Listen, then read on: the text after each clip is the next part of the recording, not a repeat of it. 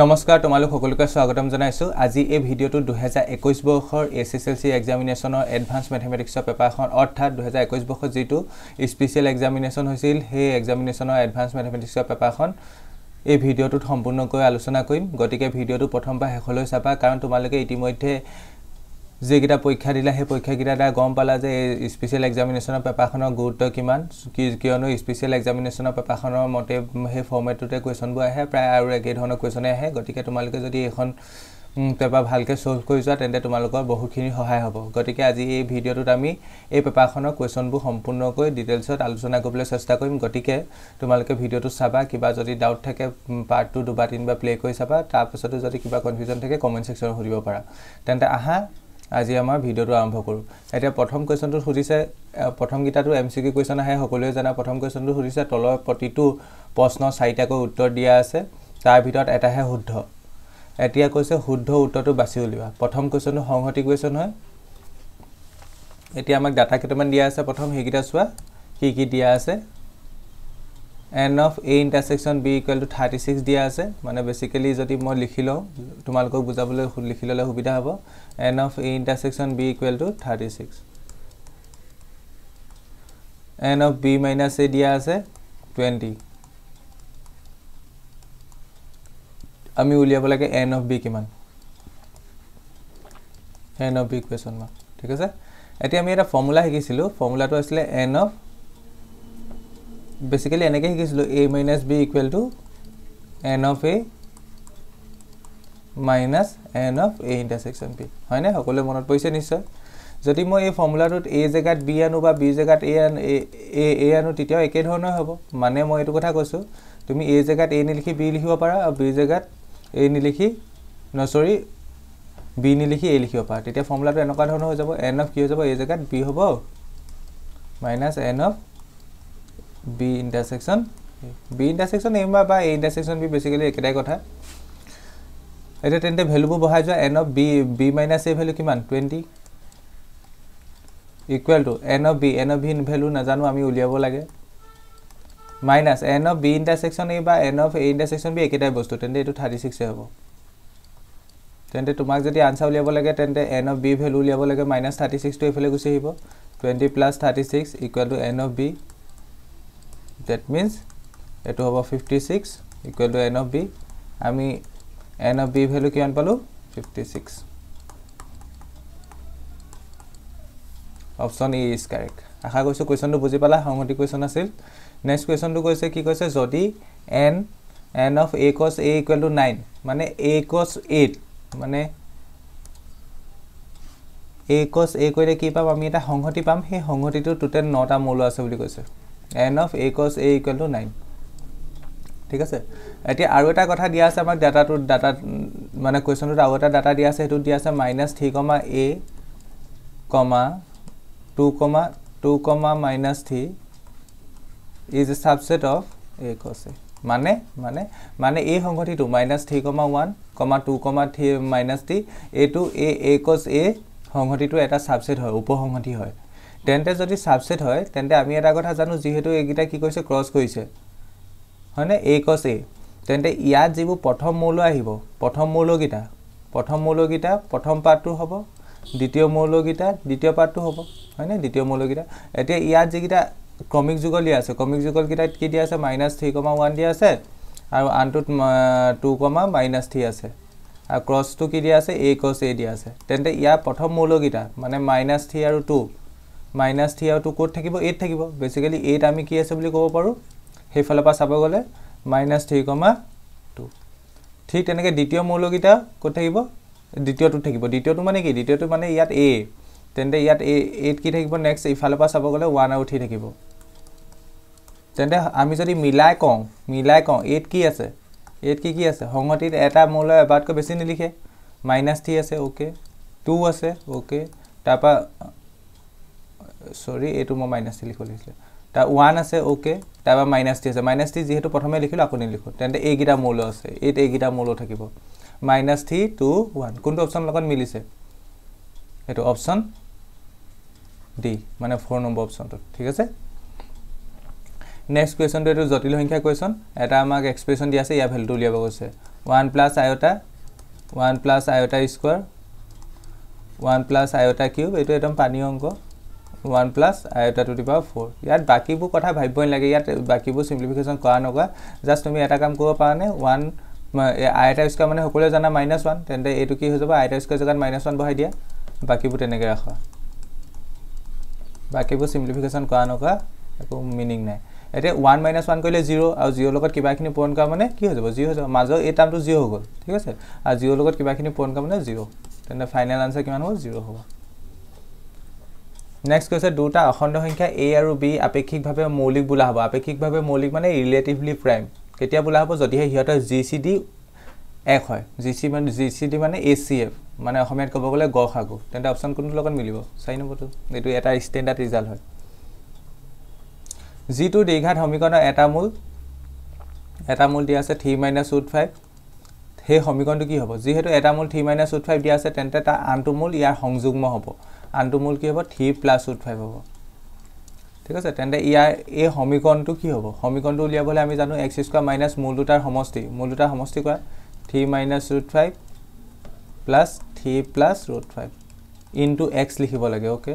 Plus এইবাৰ মূল দুটা গুণফল পূৰণ কৰিব লাগে। আশা কৰিছোঁ এইডোখৰলৈ বুজি পালা ইকুৱেল টু জিৰ' যিহেতু সমীকৰণ বুলি কৈছে। This implies x square minus এইটোৰ লগত এইটো কেঞ্চেল গ'ল তিনি তিনি যোগ কৰিলোঁ ছয় হ'ল ছিক্স এক্স প্লাছ এইটো এ মাইনাছ বি হ'ল into a plus b formula লাগিব। Three square minus root over five whole square. এইটো হ'ব x square minus six x plus no minus five equal to zero' that means x square minus six x plus four equal to zero' option কোনটো হ'ব? Second is correct x square minus six x plus four equal to okay ঠিক আছে। এতিয়া next কুৱেশ্যনটো next কুৱেশ্যনটো কি কৈছে? এইটো এটা standard result হয় লগ লগৰ লগ চেপ্টাৰটো প্ৰথম পেজখনতে আছে। ইয়াৰ ভেলু কিমান হ'ব দিছে? ইয়াৰ ভেলু হ'ব log of c log of b to the power base c option B second is correct ঠিক তেনেকৈ একেই এইটো এটা লগৰ কুৱেশ্যন কুৱেশ্যনটোত কি কৈছে? যদি লগ টু নাইন টু ফাইভৰ ভেলু দিয়া আছে তোমাক three point four six six one two তোমাক ইয়াৰ ভেলু উলিয়াব কৈছে। Therefore log two nine two five zero' zero' এইটোক আমি এনেকৈ লিখিব পাৰিম নি? Log two nine two five into ten square চোৱা two nine two five into hundred লিখিব পাৰোঁ। Two nine two five into hundred হাণ্ড্ৰেডত লিখিব পাৰোঁ টেন স্কুৱাৰ এতিয়া আমি লগৰ এটা প্ৰপাৰ্টি পঢ়ি আছোঁ লগ এম পূৰণ এন কৰিলে আমি কি লিখিব পাৰোঁ? Log m plus log n যিহেতু এইটো টাৰ্ম আৰু এইটো টাৰ্ম পূৰণত আছে তেন্তে সেই প্ৰপাৰ্টিটো ইউজ কৰিব পাৰিবা। Log two nine two five যোগ লগ টেন স্কুৱাৰ এতিয়া ওপৰ পাৱাৰটো আগলৈ গুচি আহিব সকলোৱে জানা। Log two nine two five plus two এইটো কিমান হৈ যাব? লগ টেন এতিয়া ভেলু বঢ়াই দিয়া। টু নাইন টু ফাইভৰ value three point four six six one two plus two into log log টেনৰ value one two into one কৰিলে টু তেন্তে টুৰ লগত এইটো যোগ কৰিলে কিমান পাব? ফ'ৰ ফাইভ আনচাৰ কোনটো হ'ব? এ ঠিক আছে আশা কৰিছোঁ এইডোখৰলৈ বুজি পালা। নেক্সটটো এইটো পাৰ্মুটেশ্যনৰ অংক। মানে বিন্যাস আৰু জোঁটৰ অংক যদি আমাক দিয়া আছে n P two equal to thirty তাৰপিছত আমাক ইয়াৰ ভেলুটো উলিয়াব লাগে। যিহেতু আমি এন পি আৰৰ ফৰ্মুলাটো জানো। এন পি আৰ ফৰ্মুলাটো কি আছিলে? N factorial divided by n minus r whole factorial সেই ফৰ্মুলাটো ইউজ কৰা ইয়াত। এইটো ওপৰত লিখিব পাৰিম n factorial divided by n minus two whole factorial equal to thirty okay এতিয়া এইটোক আমি লিখিব পাৰিম n n ফেক্টৰিয়েলক n into n minus one into n minus two factorial divided by n minus two whole factorial equal to thirty এইটোৰ লগত এইটো cancel কৰোঁ। এতিয়া থাকিলে n into n minus one এতিয়া ইয়াৰ পৰা তোমাক এনৰ ভেলুটো উলিয়াব লাগে। তেতিয়া তুমি ইয়াত এইটো ইউজ কৰি দিব পাৰিবা এনৰ ভেলু আৰু তেতিয়া আনচাৰ ওলাই যাব। এতিয়া এনৰ ভেলু উলিয়াওঁতে তুমি দুটা কাম কৰিব পাৰা এটা কাম কি? উৎপাদক বিশ্লেষণ কৰিব পাৰা প্ৰথমে চিম্প্লিফাই কৰি। আৰু এটা কাম তুমি মানে স্মাৰ্ট ৱৰ্ক এটা কৰিব পাৰা কি কৰিব পাৰা চোৱা? ইয়াত কি দেখা দেখি আছা? N into n minus one মানে এটা সংখ্যা আছে পূৰণ তাৰ পাছৰ সংখ্যাটো হয়নে? তাৰ পাছৰ সংখ্যাটো। তেন্তে ইয়াক চোৱা এন আছে ধৰি লোৱা তাৰ পাছত মানে এক কমি গৈছে এন মাইনাছ ওৱান হৈ গৈছে। তেনেকৈ তুমি থাৰ্টিক লিখিব পাৰিবা নি? দুটা সংখ্যা পূৰণফল হিচাপে মানে ওচৰা ওচৰি দুটা সংখ্যা পূৰণফল হিচাপে। অভিয়াছলি পাৰিম। কি পাৰিম? ছয় ইণ্টু পাঁচ ছিক্স ছিক্স ইণ্টু ফাইভ হ'বনে? ছয় পাঁচ গুণ ত্ৰিছ অ'কে তেন্তে তেন্তে ইয়াত চোৱা n into n minus one মানে দুটা সংখ্যা আছে ওচৰাচৰি সংখ্যা দুটা পূৰণফল ঠিক তেনেকৈ ইয়াতো ছয় পাঁচ দুটা ওচৰাচৰি সংখ্যা এটা পূৰণফল তেন্তে এইটোৰ লগত এইটো আমি সমান বুলি ক'ব পাৰোঁ। তেন্তে এনৰ ভেলু কিমান পাবা? ছিক্স পাবা। হৈ গ'ল। ওলাই গ'ল। তোমালোকে চিম্প্লিফাই কৰি ওলালেও হ'ব। মই এনেই শ্বৰ্টকাটটো দেখাই দিছোঁ আৰু। দিয়াৰ আমাক আনচাৰ কিমান লাগে? এন পি থ্ৰী ভেলু লাগে। ডেট মিনছ এনৰ ভেলু পালোঁ ছিক্স পি থ্ৰী ইয়াৰ ভেলু লাগে। ওপৰত হ'ব তেন্তে six factorial divided by six minus three মানে থ্ৰী ফেক্টৰিয়েল এইটো আনচাৰ পাবা six into five into four into three factorial divided by three factorial এইটো হ'ব ছয় পাঁচ গুণ ত্ৰিছ ত্ৰিছ চাৰি গুণ এশ বিছ okay option C is correct এইটো ত্ৰিকোণমিতি অংক sec one twenty degree value লাগে এতিয়া চেকক মই লিখিব পাৰোঁ চেক ওৱান টুৱেণ্টি লিখিব পাৰোঁ ninety degree plus thirty degree এতিয়া এইটো ক'ত পৰিছে চোৱা? এ এছ টি চিৰ ওলমতে A S T C ninety degree ninety degree মানে ইয়ালৈ ইয়ালৈকে আহিলে তাৰপৰা থাৰ্টি ডিগ্ৰী মানে এই ছেকেণ্ড কোৱাৰ্টেণ্টত হ'ব। ছেকেণ্ড কোৱাৰ্টেণ্টত হ'লে কি হৈছে? চেক মানে যিহেতু ইয়াত মানে এইটো অযুগ্ম সংখ্যা আছে ইয়াৰ আগত এনটো তেন্তে এইটো চেঞ্জ হ'ব ক'লৈ চেঞ্জ হ'ব কচেকলৈ চেঞ্জ হ'ব প্ৰথম সেইটো কৰি লোৱা কচেক থাৰ্টি ডিগ্ৰী এটা ছেকেণ্ড কোৱাৰ্টেণ্টত কি হয়? ছেকেণ্ড কোৱাৰ্টেণ্টত এইটো নাইণ্টি ডিগ্ৰী আহিলোঁ তাৰপৰা আকৌ থাৰ্টি ডিগ্ৰী গ'লোঁ মানে ডেট মিনছ ওৱান টুৱেণ্টি পাওঁ আৰু চেকটো কি হয় ছেকেণ্ড কোৱাৰ্টেণ্টত ছেকেণ্ড কোৱাৰ্টেণ্টত চেকটো নিগেটিভ হয়। তেন্তে মাইনাছ কচেক্স থাৰ্টি পালোঁ। এতিয়া মাইনাছ কচেক্স থাৰ্টি জেগাত মানে লিখিব পাৰিম sine thirty one by sine thirty লিখিব পাৰিম। আৰু minus one by sine thirty মানে one by two that means ইয়াৰ ভেলুটো ফাইনেল পাই যাবা মাইনাছ টু নেক্সট কুৱেশ্যনটো কৈছে ৰেখাডালৰ প্ৰৱণতা কিমান? এই ৰেখাডালৰ প্ৰৱণতা কিমান? আমি জানো এডাল ৰেখা যদি y equal to m x plus c টাইপত থাকে তেন্তে এক্সৰ লগত যিটো লাগি থাকে সেইটোকে প্ৰৱণতা বুলি কয়। তেন্তে ইয়াত কি আছে? X plus y plus one equal to zero' এইটো সেইটো ফৰ্মুলাকণ নিবলৈ চেষ্টা কৰা। ৱাইটো এটা ছাইডে ৰাখা বাকীবোৰ ইফালে লৈ যোৱা। Y equal to minus x plus ওৱানটো ইফালে গুচি গ'লে মাইনাছ ওৱান তেন্তে এক্সৰ আগত কি আছে? এক্সৰ আগত মাইনাছ ওৱান আছে। বেচিকেলি ইয়াত প্ৰৱণতা মানে এম কিমান হ'ব? মাইনাছ ওৱান এতিয়া এই এই এই কুৱেশ্যনটো বা দুই নম্বৰ কুৱেশ্যন প্ৰত্যেকটো কুৱেশ্যনতে দুই নম্বৰ আছে। কি কৈছে? যদি এ ইকুৱেল টু এটা সংহতি দিয়া আছে লিখি লোৱা কি কি দিয়া আছে? দিয়া আছে। দিয়া আছে। এ ইকুৱেল টু সংহতিটোত মৌল আছে A comma B okay B equal to B সংহতিটোত মৌল আছে A comma B comma C okay তেন্তে আমি এইটো প্ৰমাণ কৰি দেখাব লাগে। মানে এ কছ বি ইণ্টাৰছেকশ্যন বি কছ A equal to A cross এ হয় বুলি। প্ৰথমে এই কছকেইটা উলিয়াই লোৱা তেতিয়া তোমাক কৰিবলৈ সুবিধা হ'ব। এ কছ এ এ কছ বি উলিওৱা। প্ৰথমবাৰ কৈছোঁ এ কছ বি এইবোৰ কেনেকৈ উলিয়াই তোমালোকে সকলোৱে জানা হয়নে?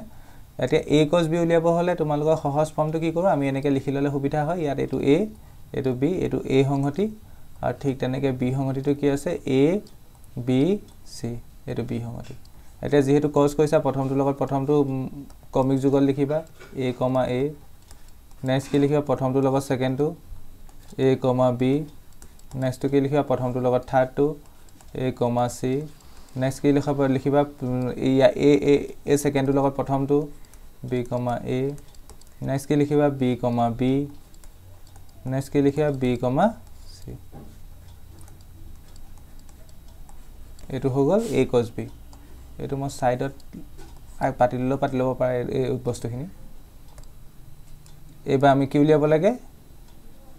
বি কছ এ বি কছ এ কৰোঁতে বি মৌলখিনি প্ৰথমে লিখিব লাগিব। বি মৌলখিনি কি? এ বি চি আৰু এ মৌলখিনি এ কমা বি এইখিনি বি মৌল এইখিনি এ মৌল। তেনে প্ৰথম এ কমা এ হ'ব। নেক্সট এ কমা বি হ'ব। নেক্সট বি কমা এ হ'ব। নেক্সট বি কমা বি হ'ব। চব কমা কমা দি লিখিছোঁ। নেক্সট চি কমা এ হ'ব। নেক্সট চি কমা বি হ'ব। হয়নে? লাষ্টতো কি হ'ব? চি কমা বি হ'ব। অ'কে এইখিনি লিখিলোঁ। এইবাৰ এ কছ এ লিখিব লাগে। মানে দুটা সংগতি এ হ'ব। মানে প্ৰথম সংগতিত মই এইখিনি ছাইডত লিখি আছোঁ আৰু তোমালোকে জানিলে নিলিখিলেও হ'ব। এ কমা বি এইটো এ সংহতি দ্বিতীয় সংহতিটো এ কমা বি এইবাৰ কি কি হ'ব তেন্তে? এ ক এ কমা এ হ'ব। ঠিক তেনেকৈ এ কমা বি হ'ব। ঠিক তেনেকৈ বি কমা এ হ'ব আৰু বি কমা বি হ'ব। ঠিক আছে? এতিয়া আমি চাওঁ কি উলিয়াব লাগে। এতিয়া এতিয়া আমি চাব লাগে এ কছ বি ইণ্টাৰছেকশ্যন এ কছ চি ন চৰি এ কছ চি নহয় বি কছ এ বি কছ এ এতিয়া এ কছ বি এ কছ বি এ কছ বি মানে এইখিনি হয়নে? এইখিনি। আৰু বি কছ এ মানে এইখিনি ঠিক আছে? সেইটো তুমি ইচ্ছা কৰিলে লিখিও ল'ব পাৰা। এ কছ বিত কি আছিলে? A comma A A comma B A comma C B comma A B comma B B comma C intersection আৰু এইখিনিত কি আছিলে? বি কছ এত কি আছিলে? A comma A A comma B আৰু কি আছিলে? B comma A B comma B C comma A C comma B লাষ্টতো C comma B ঠিক আছে? এইটো এডাল বন্ধনীডাল বন্ধ কৰি দিলোঁ। এতিয়া ইহঁতৰ কমন কি কি আছে চোৱা? ইণ্টাৰছেকশ্যন ইণ্টাৰছেকশ্যন মানে দুয়োটাতে সংঘটিতে থকা। এইটো আৰু এইটো। অ'কে এ কমা এ আছে। নেক্সট কি আছে? এ কমা বি আছে। অ'কে নেক্সট কি আছে? নেক্সট আছে বি কমা বি আছে। অ'কে নেক্সট কি আছে? বি কমা বি কমা এ আছে নি? বি কমা এ আছে। অ'কে আৰু আছে জানো? নাই। এতিয়া এইকেইটা মোৰ লগত মিলাই চোৱাচোন এ কছ এৰ লগত মিলিছে নি? এ কছ এত কি আছিলে? এ কমা এ অ'কে ইয়াতো আছে। নেক্সট কি? এ কমা বি অ'কে ইয়াতো আছে। B B comma A okay ইয়াতো আছে। আৰু বি কমা বি ইয়াতো আছে। অ'কে তেন্তে আমি এইখিনি লিখি দিব পাৰিম এ কছে প্ৰমাণিত। বা প্ৰমাণ কৰা হ'ল। প্ৰমাণ কৰা আশা কৰিছোঁ তোমালোকে বুজি পালা। নেক্সট পাৰ্টটোত কি কৈছে চোৱা? নেক্সট পাৰ্টটোত জটিল সংখ্যা কৈছে নহয় যদি z one equal to two plus three iota into one minus five iota এটা জটিল সংখ্যা দিয়া আছে। আৰু আন আন এটা জটিল সংখ্যা দিয়া আছে তেন্তে সিহঁতৰ পূৰণফলটো উলিয়াব কৈছে। দিয়া আছে। Z one z one equal to two plus three iota whole bracket one minus five iota এইটো এ এ প্লাছ আই বি আইঅ'টা ফৰ্মত লিখি ল'লে আমাৰ সুবিধা হ'ব। সেইকাৰণে আমি এইটো চিম্প্লিফাই কৰি এটা বনাবলৈ চেষ্টা কৰা। টুৰ লগত এইখিনি বস্তু পূৰণ কৰিব লাগিব। প্লাছ থ্ৰীৰ লগত থ্ৰী আইঅ'টাৰ লগত ওৱান মাইনাছ ফাইভ আইঅ'টা পূৰণ কৰিব লাগিব। এইটো হৈ যাব two minus ten iota plus three iota minus তিনি পাঁচ গুণ পোন্ধৰ। নেক্সট হ'ব আইঅ'টা স্কোৱাৰ আইঅ'টা স্কোৱাৰ মানে মাইনাছ ওৱান মাইনাছ মাইনাছ এডাল মই প্লাছ কৰি দিলোঁ। একেটা লাইনতে কৰিলোঁ বুজি পাইছা নিশ্চয়? এইটো তিনি পাঁচ গুণ পোন্ধৰ। এইটো আইটা স্কোৱাৰ হ'ব আৰু প্লাছ মাইনাছে মাইনাছ ওৱান আহিব লাগিছিলে কিন্তু মাইনা আইটা স্কোৱাৰ কাৰণে মাইনাছ মাইনাছ ওৱান হ'ব সেইকাৰণে প্লাছ কৰিলোঁ। নেক্সট এইটো কি হ'ব? দুই আৰু পোন্ধৰ যোগ কৰিলে কিমান হয়? সোতৰ। আৰু এই দুটা হ'ব মাইনাছ ছেভেন আইটা ঠিক তেনেকৈ আৰু আনটো ভাঙা। আনটো জেডটো দিয়া আছে জেডটো কিমান দিয়া আছে? One plus iota whole bracket one three minus iota three minus iota ওৱানে গোটেইখিনিক এবাৰ পূৰণ কৰিম ঠিক তেনেকৈ আইঅ'টাই গোটেইখিনিক পূৰণ কৰিম। এইটো হ'ব three minus iota plus three iota এইটো প্লাছে মাইনাছে মাইনাছ এইটো আইঅ'টা স্কোৱাৰ আইটা স্কোৱাৰ মানে মাইনাছ ওৱান এইটো প্লাছ লিখিলোঁ মই একেটা লাইনতে কৈছোঁ তিনিৰ লগত একযোগ কৰিলে চাৰি হ'ল এইটো মাইনাছে প্লাছে মাইনাছ এইটো প্লাছ টু আইঅ'টা আশা কৰিছোঁ এইডোখৰলৈকে বুজি পালা। এতিয়া আমি সিহঁতৰ পূৰণফলটো উলিয়াব লাগে। Therefore z one into z two equally কিমান হ'ব? জেড ওৱানৰ value seventeen minus seven iota আৰু z two value four plus two iota ছেভেণ্টিনে গোটেইখিনিক পূৰণ কৰিম। মাইনাছ ছেভেন আইঅ'টাই গোটেইখিনিক পূৰণ কৰিম। এইটো সোতৰ লগত চাৰি পূৰণ কৰিলে ছিক্সটি এইট প্লাছ এইটো চৌত্ৰিছ আইঅ'টা মাইনাছ সোতৰ লগত চাৰি সোতৰ লগত চাৰি পূৰণ কৰিলে সাতৰ লগত চাৰি পূৰণ কৰিলে আঠাইছ আইঅ'টা এইটো মাইনাছে প্লাছে মাইনাছ সাত দুগুণ চৈধ্য আৰু আইটা স্কোৱাৰ আইটা স্কোৱাৰ মানে মাইনাছ ডেট মিনছ এটা প্লাছ হৈ যাব। এতিয়া ছিক্সটি এইটৰ জেগাত লগত যদি ফৰ্টিন যদি যোগ কৰোঁ এইট্টি টু পাবা। এইট্টি টু প্লাছ এইটো ছিক্স আইটা এইটো আনচাৰ ঠিক আছে আশা কৰিছোঁ বুজি পাইছা। নেক্সট কুৱেশ্যনটো কি কৈছে চোৱা এটা জটিল সংখ্যাই দিয়া আছে জটিল সংখ্যাটো আমাৰ সংযুগ্ম লিখিব লাগে। সংযুগ্মটো কি হ'ব? জটিল সংখ্যাটো সৰল ৰূপত লিখি লোৱা two plus three iota into three minus four iota equal to tour লগত গোটেইখিনি পূৰণ কৰিম three minus four iota plus three আইঅ'টাৰ লগত গোটেইখিনি পূৰণ কৰিম থ্ৰী মাইনাছ ফ'ৰ আইঅ'টা এইটো হ'ব six minus eight iota plus nine iota minus এইটো বাৰ আইঅ'টা স্কুৱাৰ। আইঅ'টা স্কুৱাৰ মানে আইটা স্কুৱাৰ মানে মাইনাছ ওৱান এইটো প্লাছ কৰি দিলোঁ। এইটো ছয়ৰ লগত বাৰ যোগ কৰিলে ওঠৰ হ'ল আৰু এইটো হ'ব প্লাছ আইঅ'টা তেন্তে এতেকে সংযুগ্ম হ'ব। সংযুগ্ম হ'ব। সংযুগ্মটো কি হ'ব? এইটিন প্লাছ আইঅ'টা তাৰ ওপৰত বাৰ। মানে প্লাছডাল মাইনাছ লিখিব লাগিব সেইটো আনচাৰ নেক্সট কৈছে কেৰ মান উলিওৱা। পাঁচ নম্বৰ কুৱেশ্যন যদি কে কে মান উলিওৱা যদি এটা দীৰ্ঘা সমীকৰণ দিয়া আছে তাৰ এটা মূল আনটো দুগুণ হয়। মানে ধৰা হওক ধৰা হওক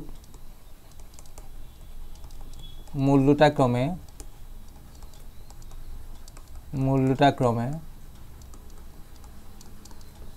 আলফা আৰু টুৱাইচ আলফা। কেলৈ ধৰিলোঁ? এটা মূল আনটো দুগুণ বুলি কৈছে। ঠিক আছে? এটা মূল যদি আলফা হয় আনটো মূল কিমান হ'ব? টুৱাইচ আলফা হ'ব। অ'কে। এতেকে মূল দুটাৰ সমষ্টি মানে আলফা প্লাছ টুৱাইচ আলফা ইকুৱেলি কি হয়? Minus b by a. Minus b b value আছে মাইনাছ ফাইভ বা এ এ ভেলু আছে টু ঠিক আছে?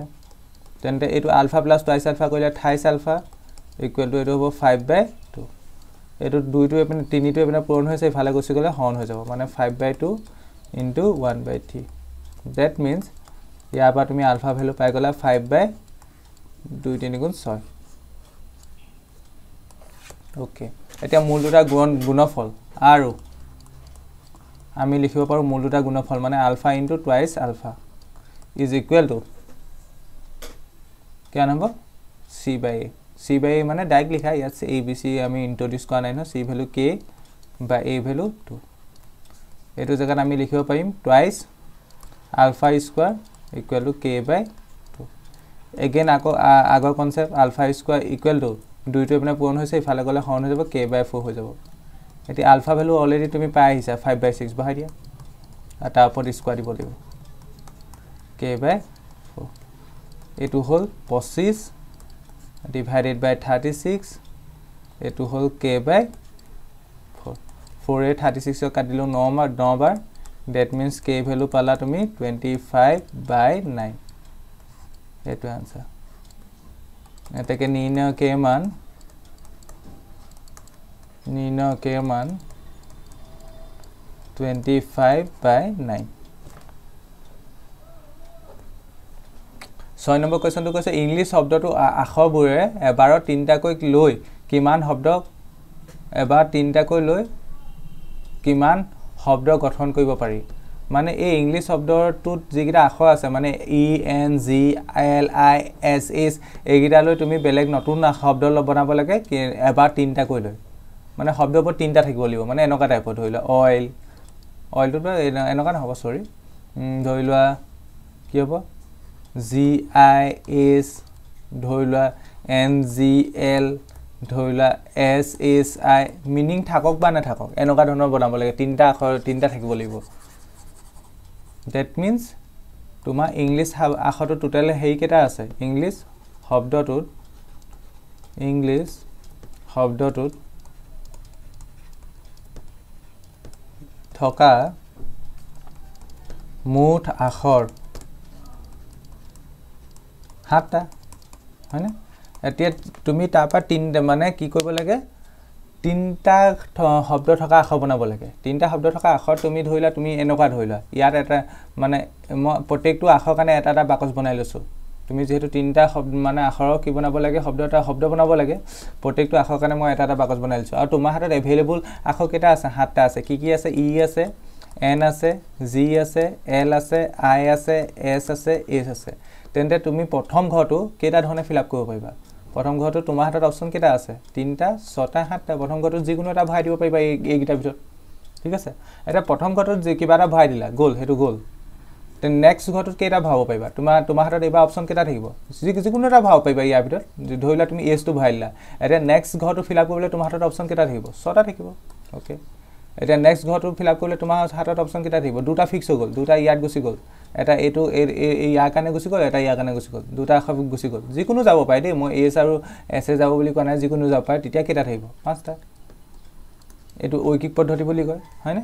এতেকে মুঠ হেৰি শব্দ কিমান হ'ব? এইকেইটা পূৰণ কৰি দিলে হ'ল। এতেকে গঠন কৰিব পৰা। এইখিনি তোমালোকৰ ডিটেইলছত বুজোৱা নাই আৰু ইলেভেনত ধুনীয়াকৈ আছে এইখিনি কথা। যিখিনি যিসকল ছাত্ৰ ছাত্ৰীয়ে ছায়েন্স পঢ়িবা তেওঁলোকে পাবাই আৰু। আমাৰ চেনেলত পাবাই। মুঠ গঠন কৰিব পৰা। ন ধুনীয়াকৈ পঢ়াওঁ। এতিয়া খালি খালি জাষ্ট বুজাই দিছোঁ।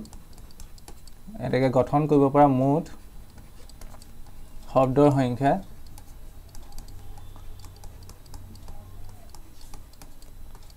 Seven into six into five that means two one ten এই চেপ্টাৰটো ইলেভেনৰ ভাল চেপ্টাৰ ইলেভেনত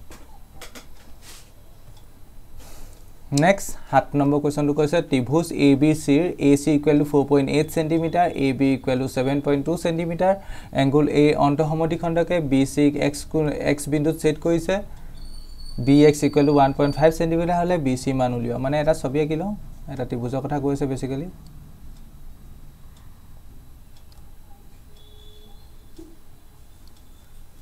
ত্ৰিভুজটোৰ নাম এ বি চি অ'কে ইয়াত কৈছে A C four point eight centimetre okay A B seven point two centimetre okay angle এৰ অন্তঃসমদ্বিখণ্ডকে বি চিক্স এক্স বিন্দুত কাটিছে অ'কে নেক্সট কৈছে B X equal to one point five centimetre বিৰ পৰা এক্সলৈকে one point five centimetre okay এতিয়া আমাক সুধিছে গোটেই বি চিডাল কিমান? গোটেই বি চিডাল কিমান হ'ব হ'লে উলিয়াব হ'লে আমি এক্স চিটো উলিয়াই দিলে হ'ল। তাৰপৰা বি এক্সৰ লগত এক্স চিটো যোগ কৰি দিম গোটেই বি চিডাল ওলাই যাব। অ'কে। লিখি ল'ব পৰা চিত্ৰত। ত্ৰিভুজ এ বি চিৰ A C equal to four point eight centimetre A B equal to seven point two centimetre B X equal to one point five centimetre এতেকে B C equal to question mark ঠিক আছে যিহেতু এ x কমা এ x মানে এইডাল এইডাল এইডাল ৰেখাৰ কথা কৈছোঁ। এংগুল বি এংগুল এৰ সমদ্বিখণ্ডক বা বি এ চি বুলিও ক'ব পাৰা এংগুল বি এ চিৰ অন্ত সমদ্বিখণ্ডক। অন্ত সমদ্বিখণ্ডক। তেন্তে এই চেপ্টাৰটোৰ এটা উপপাদ্য আছিলে উপপাদ্যটো লগাই পেলাই আমি কি ক'ব পাৰোঁ? আমি ক'ব পাৰোঁ যে বি এক্স অনুপাত এক্স চি ইকুৱেল টু কি হ'ব? ৰেখাটো ওলাল এ বি অনুপাত এ চি তেন্তে এইটোকে যদি মই অনুপাতৰ ৰূপত লিখোঁ B X by X C equal to A B by A C এতিয়া ভেলু বঢ়াই দিয়া। তোমালোকে আশা কৰিছোঁ ফিগাৰটো দ কৰিলা। ফিগাৰটো মই মোহাই দিছোঁ। আমাক এইটো উলিয়াব লাগে দেই এক্স মানে গোটেই বি চি উলিয়াব লাগে। কি কৰিব লাগিব ক'লোঁ? বি এক্স আৰু এক্স চি যোগ কৰিব লাগিব।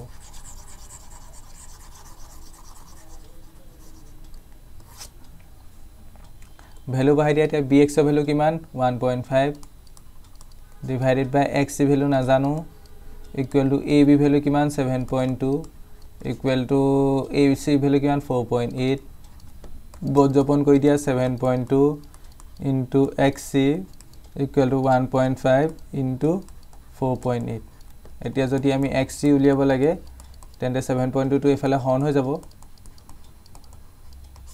ছেভেন পইণ্ট টু এতিয়া এক্স চি ইকুৱেল টু ওপৰকেইটা পূৰণ কৰিলে তুমি ছেভেন পইণ্ট টু পাবা divided by seven point two that means X C value পালা কিমান পালা ওৱান পালা ওৱান চেণ্টিমিটাৰ এক্স চি জাল ওলাই গ'ল। এতিয়া আমাক লাগিছিলে কি? বি চি দিয়া ফ'ৰ বি চি ইকুৱেল কি লিখিব পাৰোঁ? মই অলপ ফিকাটো চাই লওঁ B X plus X C লিখিব পাৰোঁ। বি এক্সৰ value one point five plus X C value one equal to two point five centimetre এতেকে নিৰ্ণয় নিৰ্ণয় বি চিৰ মান টু পইণ্ট ফাইভ চেণ্টিমিটাৰ আশা কৰিছোঁ কুৱেশ্যনটো বুজি পালা।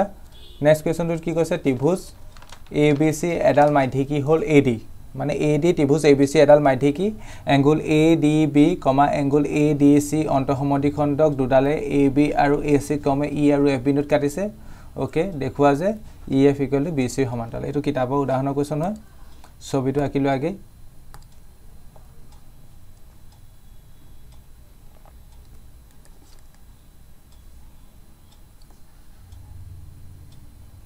এটা ত্ৰিভুজ আছে।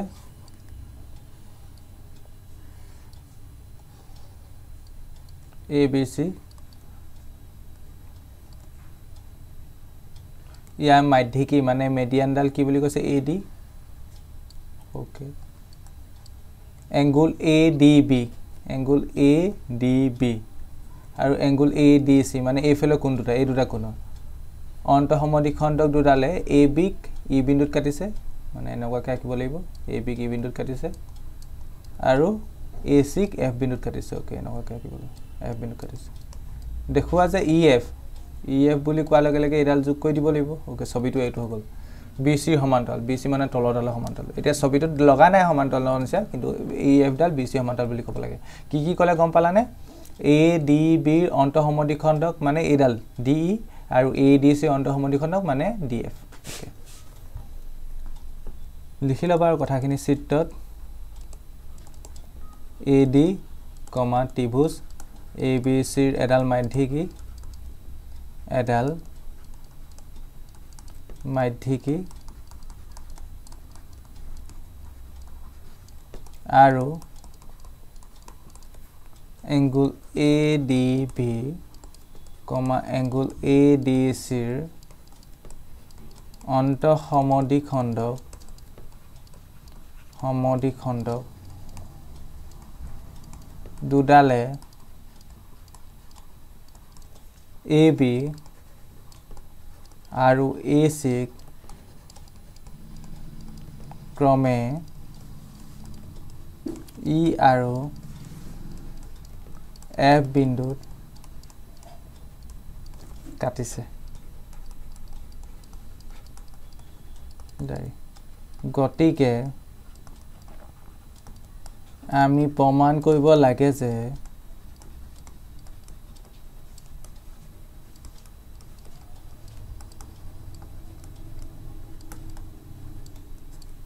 কি প্ৰমাণ কৰিব লাগে? ই এফ সমান্তৰাল বি চি অ'কে এইটো প্ৰমাণ কৰিব লাগে।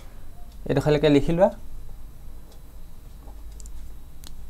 এতিয়া চোৱা যিহেতু আমাক এটা ডাটা দি আছিলে D E comma angle A D বিৰ অন্তঃসমদ্বিখণ্ড হয়নে? অন্তঃসমদ্বিখণ্ড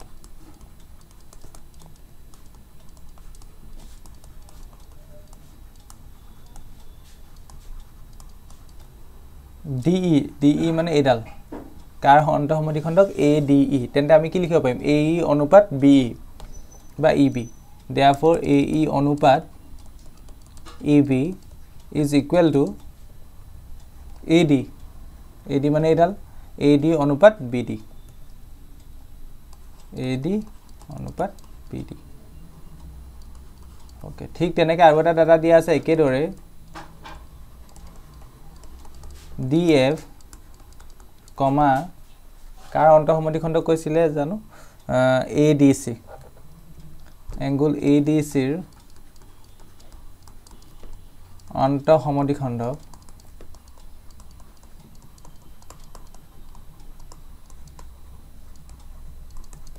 এতেকে আমি কি লিখিব পাৰোঁ? এ এফ অনুপাত এফ চি।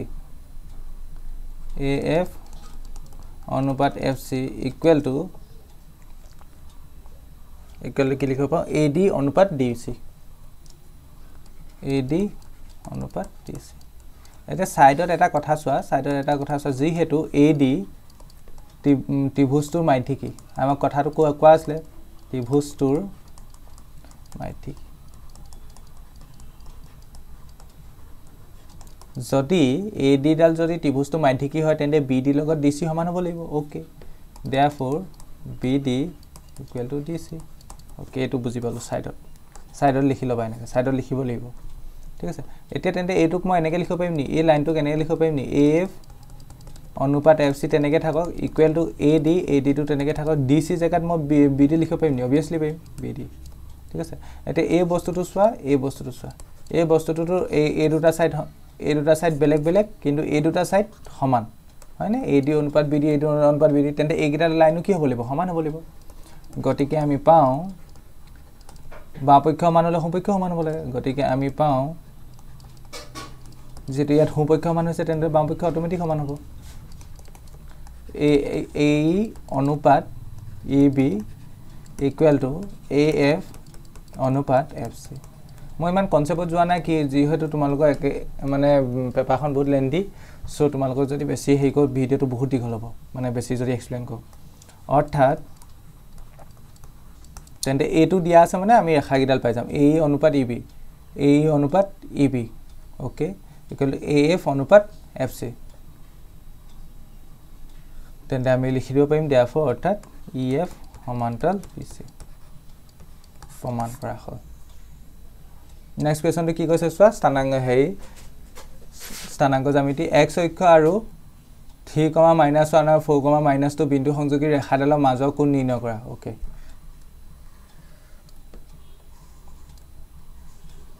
ছাপ'জ এইডাল এক্স অক্ষ। এতিয়া বিন্দুকেইটা এনেই ৰাফকৈ বহাবলৈ চেষ্টা কৰাচোন একজেক্ট বাৰু নবহা নবহালেও হ'ব ৰাফকৈ বহাব চেষ্টা কৰাচোন। এক্স অক্ষ তিনি ঘাট এক্স অক্ষত তিনি ঘাট গ'লে ৱাই অক্ষত কেইঘাট যায় এঘাট যায় তললৈ। এইটো হ'ব three comma minus one. Okay আৰু এক্স অক্ষত যদি চাৰি ঘাট যায় ৱাই অক্ষত তললৈ চাই দুঘাট আহে। তেন্তে এইটো হ'ব। এইটো কিমান হ'ব ফ'ৰ কমা মাইনাছ টু। তেন্তে ইহঁতক সংযোগ কৰিলে কোনডাল লাইন পাম? এইডাল লাইন পাম। এই লাইনডালে এক্স অক্ষক কাটিবনে? কাটিব। এটা এক্স অক্ষৰ লগত কৰা কোনটো উলিয়াব কৈছে? মানে এই কোনটো উলিয়াব পাৰা বা এই কোনটো উলিয়াব পাৰা? এক্স অক্ষৰ লগত কৰা কোনটো? দুটা লিখি দিলেও হ'ব। এক্স অক্ষৰ লগত কৰা কোনটো? মানে এই ৰেখাডালে এক্স অক্ষৰ লগত কোনটো কোন উৎপন্ন কৰিছে সেই কোনটো আমাক নিৰ্ণয় কৰিব লাগে। মানে প্ৰথমে আমি বেচিকেলি এইটো কোনে উলিয়াম? হয়নে? অনুপা হেৰি সহায়ত নটিৰ সহায়ত। ঠিক আছে। আমি কি কৰিব পাৰোঁ ইয়াত চোৱা? Solution three comma minus one আৰু ফ'ৰ কমা মাইনাছ টু বিন্দু সংযোগী বিন্দু সংযোগী ৰেখাডালৰ প্ৰৱণতা উলিয়াম। ৰেখাডালৰ প্ৰৱণতা। প্ৰৱণতা। প্ৰৱণতাক এম এশৰ দিনত কৰি লৈছোঁ। ইকুৱেলি কি হয়? Y two minus y one divided by x two minus x one formula নিলিখিলেও হ'ব। This implies m equal to y two value minus two minus y ওৱানৰ value minus one minus minus এইটো plus one লিখি দিলোঁ। X two value four minus three this implies m equal to minus one divided by one this implies এমৰ জেগাত কি লিখিব পাৰিব? Ten থিতা হয়নে ফৰ্মুলা আছিলে এম ইকুৱেল টু কি? টেন থিতা ইকুৱেল টু এইটো মাইনাছ ওৱান পাইছা। মাইনাছ ওৱান এতিয়া চোৱা তোমালোকে। মইতো ফৰ্মুলাটো মোহাই দিছোঁ। Tan theta equal to minus one পালা। অ'কে এইটো যদি মাইনাছ ওৱানক যদি মই টেনলৈ যদি কনভাৰ্ট কৰি দিব পাৰোঁ তেন্তে টেন টেন কেঞ্চেল গৈছে বুলি ধৰি ল'ব পাৰিম। কেনেকৈ লিখিব পাৰিম? Tan theta equal to minus tan forty five degree okay কিন্তু এতিয়া কাটিব নোৱাৰিবা কাৰণ এইডাল মাইনাছ চিন আছে ঠিক আছে? এই মাইনাছ চিনডালক আঁতৰাবলৈ আমি কি কৰিব লাগিব? সেই ফৰ্মুলা কেইটামান আছিলে যে সেই ফৰ্মুলা কেইটামানৰ সহায় ল'ব লাগিব। টেন থিটা ইকুৱেল টু আমি এটা কথা লিখিব পাৰোঁনে টেন তোমালোকে এটা বস্তু শিকিছিলে one eighty degree minus theta equal কি হয়? মাইনাছ টেন থিটা হয়। তেন্তে ইয়াত থিটা জেগাত ফৰ্টি ফাইভ আছে চাপ'জ মানে তেতিয়া বস্তুটো কেনেকুৱা হ'ব? Tan one eighty degree minus forty five equal to minus tan forty five okay তেন্তে মাইনাছ টেন ফৰ্টি ফাইভৰ জেগাত মই কি লিখিব পাৰিম? Tan one eighty degree minus forty five লিখিব পাৰিম। অ'কে টেন টেন কেঞ্চেল গৈছে বুলি ধৰি লোৱা থিটা ইকুৱেল কিমান হ'ব? One eighty minus forty five মানে ওৱান থাৰ্টি ফাইভ তেন্তে থিটা ভেলু মানে ডাঙৰ কোণটো পালোঁ ওৱান থাৰ্টি ফাইভ তেন্তে সৰু কোণটো কেনেকৈ ওলাব? গোটেই এই লাইনডালত কিমান আছে? এশ আশী ডিগ্ৰী। তেন্তে ডাঙৰটো যদি ওৱান থাৰ্টি ফাইভ হয় সৰুটো কিমান হ'ব? One eighty minus one thirty five that means forty five তেন্তে এইফালৰ কোণটো যদি এশ পঁয়ত্ৰিছ হয় এইফালতো কিমান হ'ব? অভিয়াছলি ফৰ্টি ফাইভ হ'ব। এটাকে নিৰ্ণয় কোণ দুটা কমে? এটাকে নিৰ্ণয় কোণ ওৱান থাৰ্টি ফাইভ ডিগ্ৰী বা forty five degree forty five degree কেলৈ হ'ল গম পালানে? এই ডাঙৰ কোণটো ছবিটো চোৱা ডাঙৰ কোণটো যদি ওৱান থাৰ্টি ফাইভ হয় এইফালেতো কিমান হ'ব? One eighty minus one thirty five that means forty five ঠিক আছে। নেক্সট কুৱেশ্যনটো সংহতি কুৱেশ্যন হয়। কুৱেশ্যনটোত কেই নম্বৰ আছে? তিনি নম্বৰ আছে। এখন স্কুলৰ পাঁচশ পঞ্চাছগৰাকী পাঁচশ পঞ্চাছগৰাকী শিক্ষাৰ্থীৰ মাজত এটা মাজত কৰা এটা জৈৱ পৰা পোৱা গ'ল যে এশ পঁয়সত্তৰগৰাকীয়ে গাখীৰ তিনিশগৰাকীয়ে চাহ আৰু এশগৰাকীয়ে গাখীৰ আৰু চাহ দুয়োটাই খায়। গাখীৰ আৰু চাহৰ কোনো এটা এটাও নোখোৱা শিক্ষাৰ্থীৰ সংখ্যা নিৰ্ণয় কৰা। অ'কে ধৰা হওক ধৰা হওক ইউ ইকুৱেল টু মুঠ শিক্ষাৰ্থীৰ সংগতি যিখিনি শিক্ষাৰ্থীৰ কথা কৈছে গোটেই শিক্ষাৰ্থীখিনিৰ সংহতিটোক মই ইউ বুলি ধৰি ল'লোঁ। শিক্ষাৰ্থীৰ সংহতি। নেক্সট গাখীৰ গাখীৰ আৰু চাহৰ কথা কৈছে। গাখীৰ মানে মিল্ক সেইকাৰণে মই এম আখৰ ইউজ কৰিছোঁ। এম ইকুৱেলটো কি হ'ব গাখীৰ। ন এইবিধ ধৰিলেও কোনো ভুল নহয় দেই। গাখীৰ খোৱা শিক্ষাৰ্থীৰ শিক্ষাৰ্থীৰ সংহতি। নেক্সটটো টি টি মানে চাহ খোৱা শিক্ষাৰ্থীৰ সংহতি। অ'কে এতিয়া ডাটা কেইটামান দিয়া আছে চোৱা। ইয়াত এন অফ ইউ প্ৰথম এটা কথা চোৱা টোটেল শিক্ষাৰ্থী কিমান দিয়া আছে? পাঁচশ পঞ্চাছ। তেন্তে এন অফ ইউ ভেলু কিমান হ'ব পাঁচশ পঞ্চাছ। এতিয়া গাখীৰ খোৱা ছাত্ৰ ছাত্ৰী কিমান দিয়া আছে? এশ গাখীৰ খোৱা কিমান? এশ পঁয়সত্তৰ গাখীৰ। তেন্তে এন অফ এম অ' ভেলু কিমান হ'ব এশ পঁয়সত্তৰ। চাহ খোৱা শিক্ষাৰ্থী কিমান দিয়া আছে? তিনিশ গাখীৰ। এন অফ টি ভেলু কিমান হ'ব তিনিশ। গাখীৰ আৰু চাহ দুয়োটাই খায়। ডেট মিনছ ইণ্টাৰছেকশ্যন গাখীৰ গাখীৰৰ সংগতিটোতো থাকিব চাহৰ সংগতিটো থাকিব। ইয়াৰ ভেলু কিমান দি আছে? এশ দহ। অ'কে এতিয়া আমাক উলিয়াব লাগে কি? উলিয়াব গাখীৰ আৰু চাহ। গাখীৰ আৰু চাহৰ কোনো এটাও নোখোৱা। অ'কে তেন্তে খোৱাটো উলিয়াই ল'ম। দেয়া ফৰ এম ইউনিয়ন টি মানে এইটোত কি হ'ব? গাখীৰ আৰু চাহৰ যিকোনো এটা খোৱা। ইকুৱেল টু গাখীৰ আৰু চাহৰ কমেও কমেও এবিধ খোৱা এবিধ খোৱা শিক্ষাৰ্থীৰ সংগতি। শিক্ষাৰ্থীৰ সংগতি। Okay A union B formula n of M plus n of T minus n of M intersection T value বহাই দিয়ে। ইয়াৰ ভেলু পালোঁ ওৱান ছেভেণ্টি ফাইভ ইয়াৰ ভেলু থ্ৰী হাণ্ড্ৰেড মাইনাছ ইয়াৰ ভেলু ওৱান হাণ্ড্ৰেড টেন এইটোক যদি simplify কৰা কিমান পাবা? Four seventy five one hundred ten minus কৰিলোঁ থ্ৰী ছিক্সটি ফাইভ ঠিক আছে? তেন্তে এইটো পালোঁ n of M union T এতিয়া যদি আমি এম ইউনিয়ন টি কমপ্লিমেণ্ট লওঁ তেতিয়া তাত কি থাকিব? গাখীৰ আৰু চাহৰ গাখীৰ আৰু চাহৰ এটাও নোখোৱা। ইয়াত কমেও এবিধ খোৱা আছিলে নহয় তেন্তে কমপ্লিমেণ্ট হ'লে এটাও নোখোৱা হৈ যাব। গাখীৰ আৰু চাহৰ কমেও বা গাখীৰ চাহৰ কমেও লিখিব নালাগে কুৱেশ্যনটো মতে লিখা। গাখীৰ আৰু চাহৰ কোনো এটাও নোখোৱা। কোনো এটাও নোখোৱা। এটাও নোখোৱা। শিক্ষাৰ্থীৰ সংগতি। নোখোৱা শিক্ষাৰ্থীৰ সংগতি। তোমালোকে বহীখনৰ তললৈ গৈ থাকিবা মই ওপৰত ইউজ কৰি দিছোঁ জেগাডোখৰ। Therefore n of M union T complement equally কি লিখিব পাৰোঁ? এন অফ ইউ মাইনাছ তোমালোকৰ ফৰ্মুলা এটা আছিলে n of A complement equally কি আছিলে? N of U minus n of A সেইটো ফৰ্মুলা লগাইছোঁ। জাষ্ট এই কমপ্লিমেণ্টৰ জেগাত এই গোটেইখিনি আছে বুলি ধৰি লোৱা।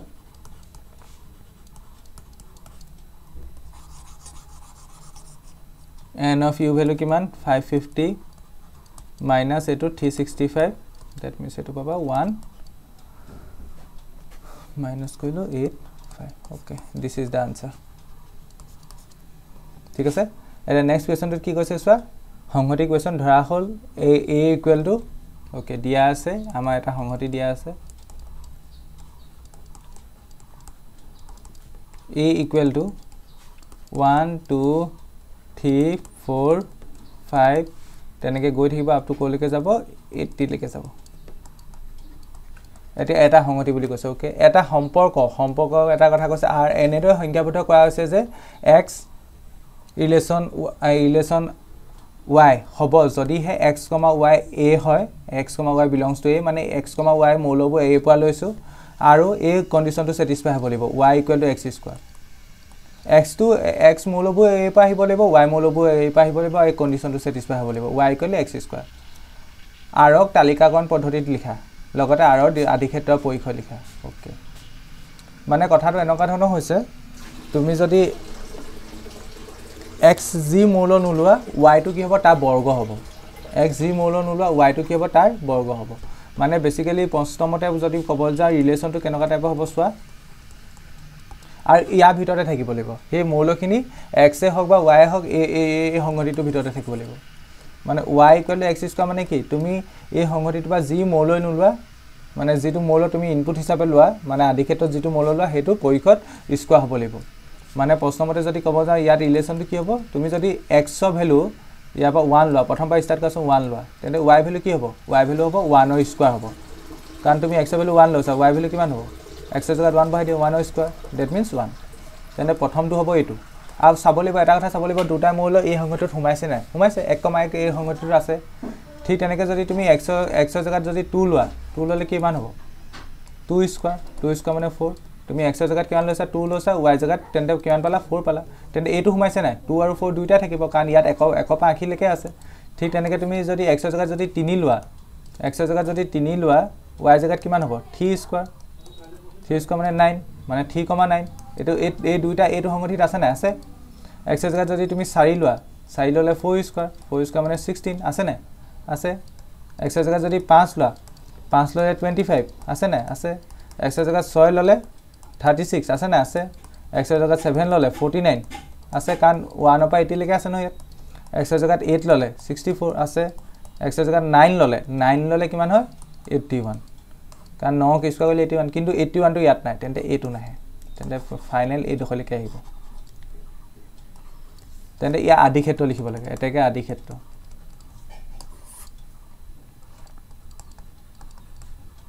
আদি ক্ষেত্ৰ কিহে দিনত কয়? ডি আৰ আদি ক্ষেত্ৰত প্ৰথম মৌলখিনি লিখি দিলে হ'ল। প্ৰথম মৌলখিনি সংহতি হিচাপে লিখি দিয়ে। এক দুই তিনি চাৰি পাঁচ। ক্ৰমিক যুগলবোৰ প্ৰথম মৌলবোৰ। ছয় সাত পৰিসৰ। পৰিসৰ ক্ৰমিক যুগলৰ ছেকেণ্ড মৌলবোৰ। পৰিসৰ। পৰিক্ষেত্ৰ নহয় এইটো পৰিসৰ। এইটো আৰ আৰ। ওৱান চাৰি ন ষোল্ল পঁচিছ ছয়ত্ৰিছ ঊনপঞ্চাছ ছিক্সটি ফ'ৰ। অ'কে। আশা কৰিছোঁ বুজি পালা এইটো কুৱেশ্যন নেক্সট কুৱেশ্যনটো জটিল সংখ্যাই কি কৈছে? যদি p plus p plus iota q equal to alpha alpha plus iota divided by alpha minus iota তেন্তে প্ৰমাণ কৰিব লাগে যে এইটো প্ৰমাণ কৰিব লাগে। মানে দিয়া আছে। দিয়া আছে। P plus iota q equal to alpha plus iota divided by alpha minus iota. This implies এইটোক আমি অকণমান চিম্প্লিফাই কৰিম পি প্লাছ আয়তা কিউ। ইয়াৰ সংযোগমতে ওপৰটোলৈ পূৰণ কৰি দিম। এইটো alpha plus iota alpha plus iota. Basically এইটো ফৰ্মুলা লাগি যাব এতিয়া p plus iota q. Equal ওপৰত হৈ যাব alpha plus iota whole square তলত a minus b whole into a plus b formula লাগিব alpha square minus iota square. This implies P plus iota Q equal ওপৰত A plus B whole square formula ভাঙি দিলোঁ। এইটো alpha square minus minus iota square মানে minus one এইটো plus হৈ গ'ল। এইটো আইটা স্কোৱাৰ মানে কিমান? মাইনাছ ওৱান মই ডাইৰেক্ট লিখিছোঁ। নেক্সট লাইনটো হ'ব p plus iota q equal to alpha square এইটো minus one whole packet two alpha iota divided by alpha square plus one এতিয়া আলফা স্কোৱাৰ প্লাছ ওৱানে দুইটা চাইডতে ডিভাইড লগাই দিয়ে দুটা বস্তুতে। That means alpha square minus one divided by alpha square plus one লিখিব পাৰিবা। Plus plus alpha iota alpha square plus one এতিয়া কম্পেয়াৰ কৰা। পিৰ লগত এই প্ৰথমখিনি সমান হ'ব। হয়নে? তুলনা কৰি আমি পাওঁ। তুলনা কৰি পি ভেলু কিমান পাবা? পি ভেলু পাবা alpha square minus one divided by alpha square plus one. Okay q value কিমান পাবা? কিউ ভেলু পাবা তুমি আয়তাটো লিখিব নালাগে কাৰণ কিউ আগত ইয়াত আয়তা আছে ইয়াতো আয়তা আছে। তেন্তে টুৱাই কিউ ভেলু হ'ব twice alpha divided by alpha square plus one. Okay p value পালা কিউ ভেলু পালা।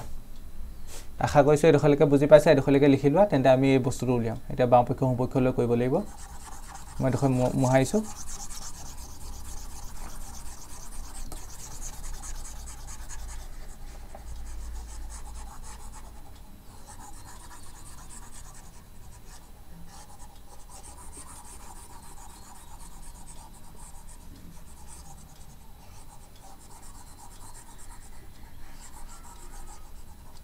অ'কে এতিয়া চাওক বাওঁ পক্ষ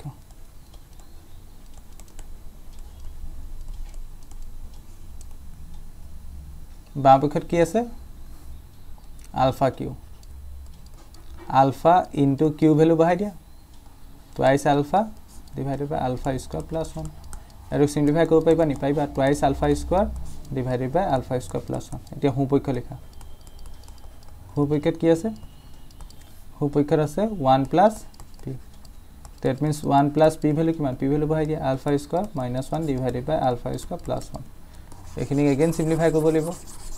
আৰু আমি চাব লাগিব বাওঁপক্ষৰ লগত সোঁপক্ষ সমান আহিছে নে নাই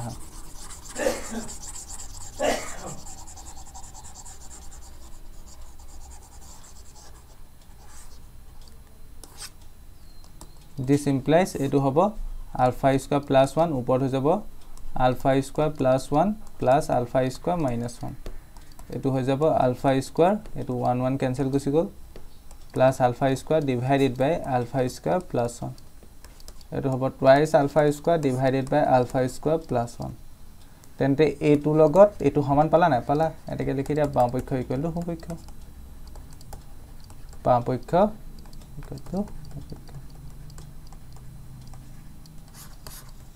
নেক্সট কুৱেশ্যন আৰোহণ পদ্ধতিৰ দ্বাৰা সমান দেখুওৱা যে যিকোনো n belongs to natural number বাবে one plus three plus five plus dot dot dot dot dot two n minus one equal to n square হয় বুলি দেখাব লাগে।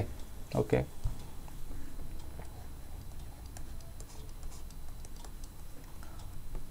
এতিয়া চোৱা এইটোক আমি প্ৰথমে কি কৰিব লাগে আৰোহণ পদ্ধতি মানে ইণ্ডাকশ্যন মেথডৰ দ্বাৰা মানে প্ৰমাণ কৰিব লাগে। তাৰ কাৰণে এইটো প্ৰথমে এছ এন বুলি ধৰি ল'ম। ষ্টেণ্ডাৰ্ড ফৰ্মেটটো যেনেকৈ কৰিম কৰিব হ'লে আমি এছ এন বুলি ধৰি ল'ব লাগে। ধৰা হওক এছ এন যিহেতু ইয়াত ভেৰিয়েবলটো এন সেইকাৰণে এছ এনে ধৰিম S n charge that one plus three plus five plus dot ডটকৈ গৈ আছে আপ টু ক'লৈকে গৈছে twice n minus one equal to n square okay এতিয়া চোৱা এইটোক আমি প্ৰথম কি কৰিব লাগিব? এন ইকুৱেল টু ওৱানৰ কাৰণে ভেৰিফাই কৰিব লাগিব। এন ইকুৱেল টু কেৰ কাৰণে এজিউম কৰিব লাগিব ধৰি ল'ব লাগিব আৰু n equal to k plus ওৱানৰ কাৰণে সঁচা হয় বুলি প্ৰমাণ কৰিব লাগিব। কি কৈছে? এন আৰু ওৱানৰ কাৰণে এই উক্তিটো সঁচা হয় বুলি ভেৰিফাই কৰিব লাগিব। ঠিক আছে? মানে ভেৰিফাই কৰিব লাগিব হৈছে নে নহয় আৰু এন ইকুৱেল টু কেৰ কাৰণে কি কৰিব লাগিব? সঁচা বুলি ধৰি ল'ব লাগিব। আৰু n equal to k plus ওৱানৰ কাৰণে কি কৰিব লাগিব? প্ৰুফ কৰিব লাগিব। অ'কে প্ৰথম এন ইকুৱেল টু ওৱানৰ কাৰণে কৰোঁ। মানে এনৰ জেগাত ওৱান বহাই দিয়া। মানে এছ ওৱান হৈ গ'ল। এছ ওৱান হৈ গ'লে ইয়াতো ওৱান বহিব। ওৱান বহিলে ওৱান স্কুৱাৰ ওৱান স্কুৱাৰ মানে কিমান? ওৱান আৰু এইফালে এইটো ছাইডত ওৱান মানে পাইছা আৰু এইটো ছাইডে ওৱান হয় নাই প্ৰথম টাৰ্মটো ওৱান অ'কে তেন্তে one equal to one one equal to one মানে কি? দেয়া ফ'ৰ এছ ওৱান ওৱানৰ বাবে সত্য। আমি লিখিম লেংগুৱেজটো কি লিখিম? এছ ওৱানৰ বাবে সত্য। অ'কে এইবাৰ মই কি ক'ব লাগিব বুলি কৈছিলোঁ? এন ইকুৱেল টু কে কাৰণে সত্য হয় বুলি ধৰি ল'ব লাগিব। ধৰা হওক এছ কে বাবেও বাবে সত্য। এইটো সত্য লিখিছোঁ হা। এছ কে বাবে সত্য মানে কি? মানে য'ত এন আছে তাত কে লিখি দিয়া? One plus three plus five plus dot dot dot two k minus one equal to k square এইটোক দি দিয়া ইকুৱেশ্যন ওৱান ঠিক আছে? আশা কৰিছোঁ এইটো হ'লে বুজি পালা। এতিয়া আমি কি কৰিব লাগে কৈছিলোঁ?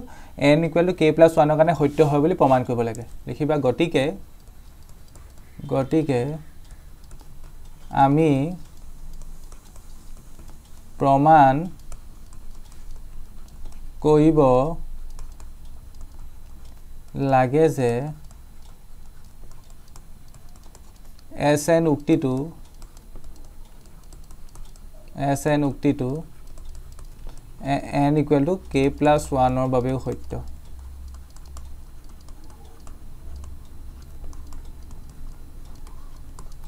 অৰ্থাৎ, আমি কি দেখাব লাগে? আমি দেখাব লাগে, এইখিনিটো প্ৰথম লিখিয়ে লোৱা। এছ এন ইকুৱেলটো লিখিয়ে লোৱা। এছ এন ইকুৱেলটো চৰি চৰি এছ এন দি লিখিবা এছ এনৰ জেগাত কে প্লাছ ওৱান মানে পুট কৰি দিয়া মই সেইটো ক'ব লাগিছিলোঁ। One plus three plus five plus dot dot dot dot লাষ্টতে কি আছে টুৱাইছ এন আছিলে এনৰ জেগাত কে প্লাছ ওৱান বহিলে। Minus one okay equal to এনৰ জেগাত কে প্লাছ ওৱান মানে এইটো দেখাব লাগে আমি। S S N equal to মানে উক্তিটো N equal to K plus ওৱানৰ মানে সত্য মানে কি দেখাব লাগে? এই লাইনটো সত্য বুলি দেখাব লাগে। এই লাইনটো সত্য মানে কি? আমি বাওঁপক্ষ ইকুৱেল টু সোঁপক্ষ দেখাই দিলে হ'ল। এতিয়া হল বাঁপক্ষ এই এই লাইনটো বুজিবলৈ চেষ্টা কৰিবা দেই অলপ। এইটো বাওঁপক্ষখিনি এইখিনি। One plus three plus five plus dot dot ডটকৈ গৈ আছে। কি গৈ আছে? লাষ্টতো পাবা তুমি। টু লাষ্টতো পাবা কি পাবা? টু ডট ডটকৈ গৈ আছে আৰু suppose two K plus one minus one এতিয়া এনেকৈ যদি তুমি লিখা বাওঁপক্ষখিনি লিখা অকণমান আগৰটোৰ লগত লিংক কৰিব লাগিব সেইকাৰণে আগৰটোৰ লগত মিলাবলৈ দিগদাৰ হ'ব। সেইকাৰণে তোমালোকক মেথড এটা শিকাই দিছোঁ কি কৰিবা প্ৰথমে প্ৰথমে যিখিনি এই কে সমীকৰণ একত যি ইয়াৰ পৰা ইয়ালৈকে যিখিনি পাইছিলা সেইখিনি ছেইম টু ছেইম লিখি ল'বা। ছেইম টু ছেইম লিখি ল'বা। সমীকৰণ একত যিখিনি বাওঁপক্ষত পাইছিলে সেইখিনি ছেইম টু ছেইম লিখি ল'বা। মই মেথডটো শিকাই দিছোঁ টু কে মাইনাছ ওৱান পাইছিলে হয়নে? অ'কে তাৰ পাছত এই লাষ্টৰ টাৰ্মটো লিখি দিবা। কাম চেছ two K plus one minus one okay এতিয়া এইডোখৰ পৰা এইডোখৰলৈকে গোটেইখিনি তুমি গোটেইখিনি তুমি সমীকৰণৰ একৰ সহায় ল'ব পাৰিবা আৰু সমীকৰণৰ একৰ সহায়ত কে স্কোৱাৰ লিখিব পাৰিবা। হয়নে? সমীকৰণ একৰ সহায়ত কি লিখিব পাৰিম? কে স্কোৱাৰ। প্লাছ এইটোতো তেনেকৈ থাকিব। চিম্প্লিফাই কৰিব পাৰিবা বাৰু কৰিম এতিয়া নেক্সট ষ্টেপত ইয়াত ব্ৰেকেটত লিখিবা সমীকৰণ একৰ পৰা। সমীকৰণ একৰ পৰা। এতিয়া কে স্কোৱাৰ প্লাছ এইটো হ'ব twice K plus two minus two. Minus two নহয় চৰি ওৱান হ'ব। এইটো কিমান পালা? কে স্কোৱাৰ প্লাছ এইটো হ'ব টুৱাইছ কে। এইটো টু টু মাইনাছ ওৱান মানে ওৱান। এইটো এটা ফৰ্মুলাত লাগি গ'ল কে প্লাছ ওৱান হোল স্কোৱাৰ। প্ৰমাণ হ'লনে? হ'ল K plus one whole square. Equal to সোঁপক্ষ তেন্তে আমি বাওঁপক্ষ ইকুৱেল টু সোঁপক্ষ পাই গ'লোঁ। তেন্তে ফাইনেল আনচাৰ লিখি দিবা লাষ্টত তলত এতেকে N equal to K plus ওৱানৰ বাবেও ওৱানৰ বাবেও এছ এন সত্য। এছ এন কি হয় সত্য হয়? এতেকে one plus three plus five plus dot dot dot যেনেকৈ কুৱেশ্যনটো দিয়া আছিলে ছেম টু ছেম লিখি দিয়া twice N minus one equal to N square comma N belongs to natural number. স্বাভাৱিক সংখ্যা এইটো এনচাৰ ঠিক আছে আশা কৰিছোঁ বুজি পালা। নেক্সট কুৱেশ্যনটোত কি কৈছে চোৱা? দেখুওৱা যে যিকোনো অখণ্ড সংখ্যা বৰ্গক ফ'ৰ এম বা ফ'ৰ এম প্লাছ ওৱানৰ ওপৰত প্ৰকাশ কৰিব পাৰি। নেক্সট কুৱেশ্যনটো চোৱা কি কৈছে? দেখুওৱা যে যিকোনো যিকোনো অখণ্ড সংখ্যা বৰ্গক ফ'ৰ এম বা ফ'ৰ এম প্লাছ ওৱানৰ ওপৰত প্ৰকাশ কৰিব পাৰি য'ত M E belongs to in Z Z মানে ইণ্টিজাৰ মানে ভাগ কলন ভাগ কলন সূত্ৰটো লগাব লাগিব। ধৰা হওক ধৰা হওক এ হ'ল যি বুলি দিয়া আছে তেনেকৈ লিখি লোৱা এ হ'ল যিকোনো যিকোনো অখণ্ড সংখ্যা আৰু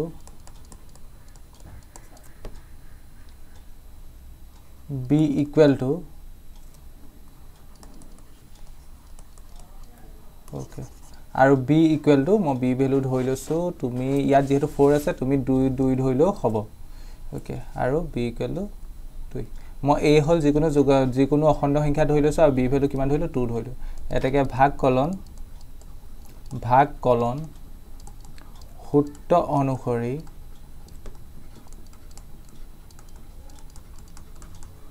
তুমি কি পাবা? A equal to B Q হয়। বি কিউ মানে two Q.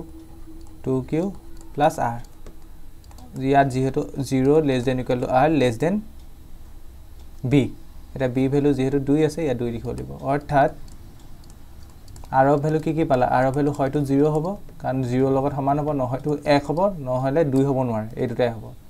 অ'কে যদি যদি আৰ ইকুৱেল টু জিৰ' হয় আৰ ইকুৱেল টু জিৰ' হয় তেন্তে তেন্তে এ ইকুৱেল টু কিমান হ'ব? এ ইকুৱেল টু হ'ব twice Q okay this implies ইয়াক বৰ্গ কৰিব কৈছে। যিকোনো বৰ্গ বুলি কৈছে ন এ কি বৰ্গ কৰিলে এ গ'ল এইটো টুৱাই টুক বৰ্গ কৰিলে ফ'ৰ কিউ স্কুৱাৰ অ'কে এইটোক মই এনেকৈ লিখিব পাৰিম নিব এ স্কুৱাৰ ইকুৱেল টু ফ'ৰটো থাকক কিউ স্কুৱাৰ জেগাত মই এম লিখিব পাৰিম নি? অভিয়াছলি পাৰিম। য'ত এম মানে কি? কিউ স্কুৱাৰ যিটো এটা ইণ্টিজাৰত বিলং কৰিব। ঠিক আছে? এইটো এইটো প্ৰমাণ হৈ গ'ল তেন্তে। আৰৰ ভেলু জিৰ' হ'লে বৰ্গটো তেন্তে ফ'ৰ এম আহি হ'ল। এতিয়া তেন্তে আমি আৰ ইকুৱেল টু ওৱান ধৰি কৰিম। যদি আৰ ইকুৱেল টু ওৱান হয় তেন্তে যদি আৰ ইকুৱেল টু ওৱান হয় তেন্তে তেন্তে কিমান হ'ব? A equal to twice Q plus one হ'ব। তেন্তে ইয়াক বৰ্গ কৰিব লাগিব। A square equal to twice Q plus ওৱানৰ whole square this implies A square equal to এইটো হ'ব four Q square A plus B whole square formula লগাইছোঁ। Into four Q plus one এইটো এ স্কুৱাৰ প্ৰথম দুটা বা চাৰি common আছে চাৰিটো কমন লোৱা কিউ স্কুৱাৰ প্লাছ কিউ হ'ল প্লাছ ওৱান এতিয়া এইটো জেগাত তুমি এম ধৰা। A square to four M plus one য'ত য'ত M equal to Q square plus Q belongs to Z ঠিক আছে? এতিয়া বাকীখিনি যেনেকৈ দি আছিলে লিখি দিয়া। এতেকে ওলাই গ'ল। আমাক হয়তো ফ'ৰ এম আহিত দেখাব লাগে নহয়তো ফ'ৰ এম প্লাছ ওৱান আহিত দেখাব লাগে। এতেকে যিকোনো যিকোনো অখণ্ড কুৱেশ্যনটো যিটো দিছে সেইটোৱে লিখি দিয়া। অখণ্ড সংখ্যাৰ বৰ্গক ফ'ৰ এম বা ফ'ৰ এম প্লাছ ওৱান আহিত প্ৰকাশ কৰিব পাৰি বা ৰূপত লিখা।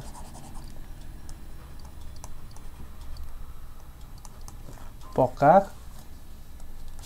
কৰিব পাৰি।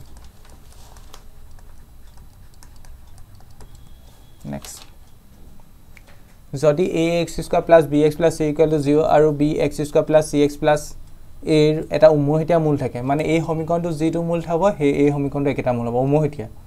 অ'কে তেন্তে আমাক এইটো বস্তু প্ৰমাণ কৰিব লাগে। লিখা ধৰা হওক।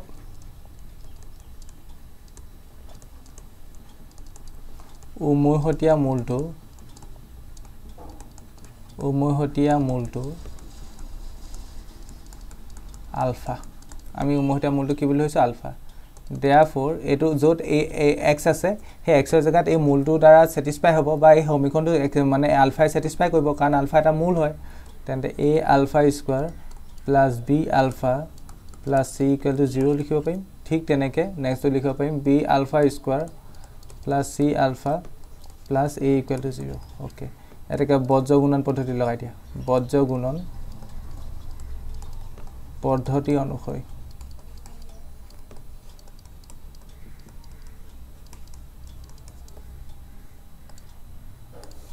বজ্ৰগুণন পদ্ধতি কেনেকৈ লগায়? প্ৰথম যিহেতু আলফা স্কোৱাৰ আছে তেন্তে আলফা স্কোৱাৰ দিব লাগিব। ডিভাইডেড ডিভাইডেড বাই ইয়াত যিহেতু আলফা আছে নেক্সট আলফা দিব লাগিব।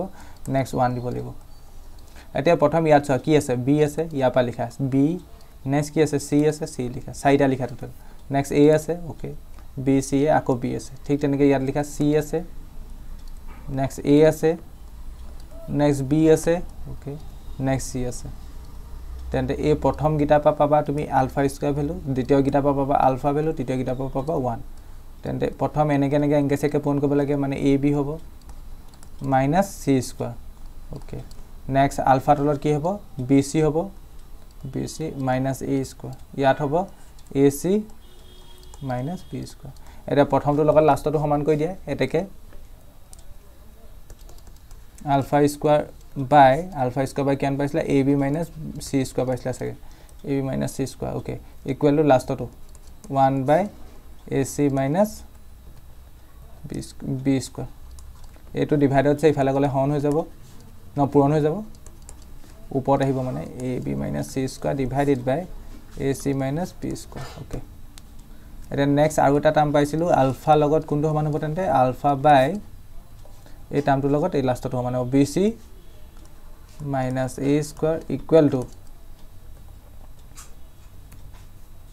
one by A C minus B square A C minus B square এতিয়া মই ইয়াত কাম এটা কৰিম এই দুটা ছাইড মই স্কুৱাৰ কৰি দিম। কেলৈ স্কুৱাৰ কৰিছোঁ গম পাবা? স্কুৱাৰ কৰাৰ আগতে তুমি এই তলৰ বস্তুটো ইফালে পঠিয়াই দিয়া। এইফালে থাকি যাব আলফা তলৰ বস্তুটো ইফালে গুচি গ'লে ওপৰত যাবগৈ B C minus A square এইটো এটা টাৰ্ম আৰু তেন্তে A C minus B square এইটো এটা টাৰ্ম এতিয়া মই স্কুৱাৰ কৰি দিম। স্কুৱাৰ কৰিলে এইটো আলফা স্কুৱাৰ হৈ গ'ল। এইখিনিও স্কুৱাৰ হৈ যাব B C minus A square তাৰ ওপৰত স্কুৱাৰ আহিব divided by A C minus B square তাৰ ওপৰত স্কুৱাৰ আহিব অ'কে এতিয়া আলফা স্কুৱাৰ জেগাত মই এইটো ভেলু বহাই দিব পাৰিম সেইকাৰণে মই স্কুৱাৰ কৰিলোঁ বুজি পালা? A B minus C square divided by A C minus B square বেকেডাল লগাই দিব পাৰা আৰু নলগালেও হয়।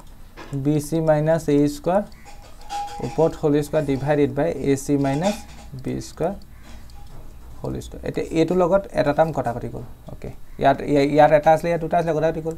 এতিয়া বজ্ৰপণ কৰি দিয়া। ইয়াত এক থাকিলে এইটোৰ লগত পূৰণ কৰিলে B C minus A square whole square হ'ল equal to A B minus C square whole bracket A C minus B square okay এতিয়াতো ভাঙা চিম্প্লিফাই কৰা। এইডোখৰলৈকে লিখি লোৱা পটাপট তাৰপিছত মই চিম্প্লিফাই কৰিম। আশা কৰিছোঁ লিখিলে এডোখৰলৈকে মই মোহাৰিছোঁ।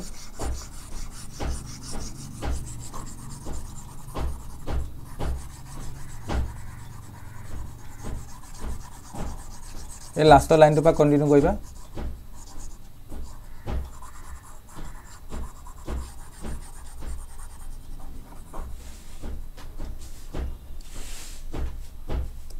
দিছ ইমপ্লাইজ মই এইটোত কি লিখিব পাৰিম? A minus B whole square formula লগাই দিয়া। B square C square minus twice A square B C plus A A two the power four equal to A B এইটোৰ লগত এইটো পূৰণ কৰিম ন? এ স্কোৱাৰ বি চি হ'ব।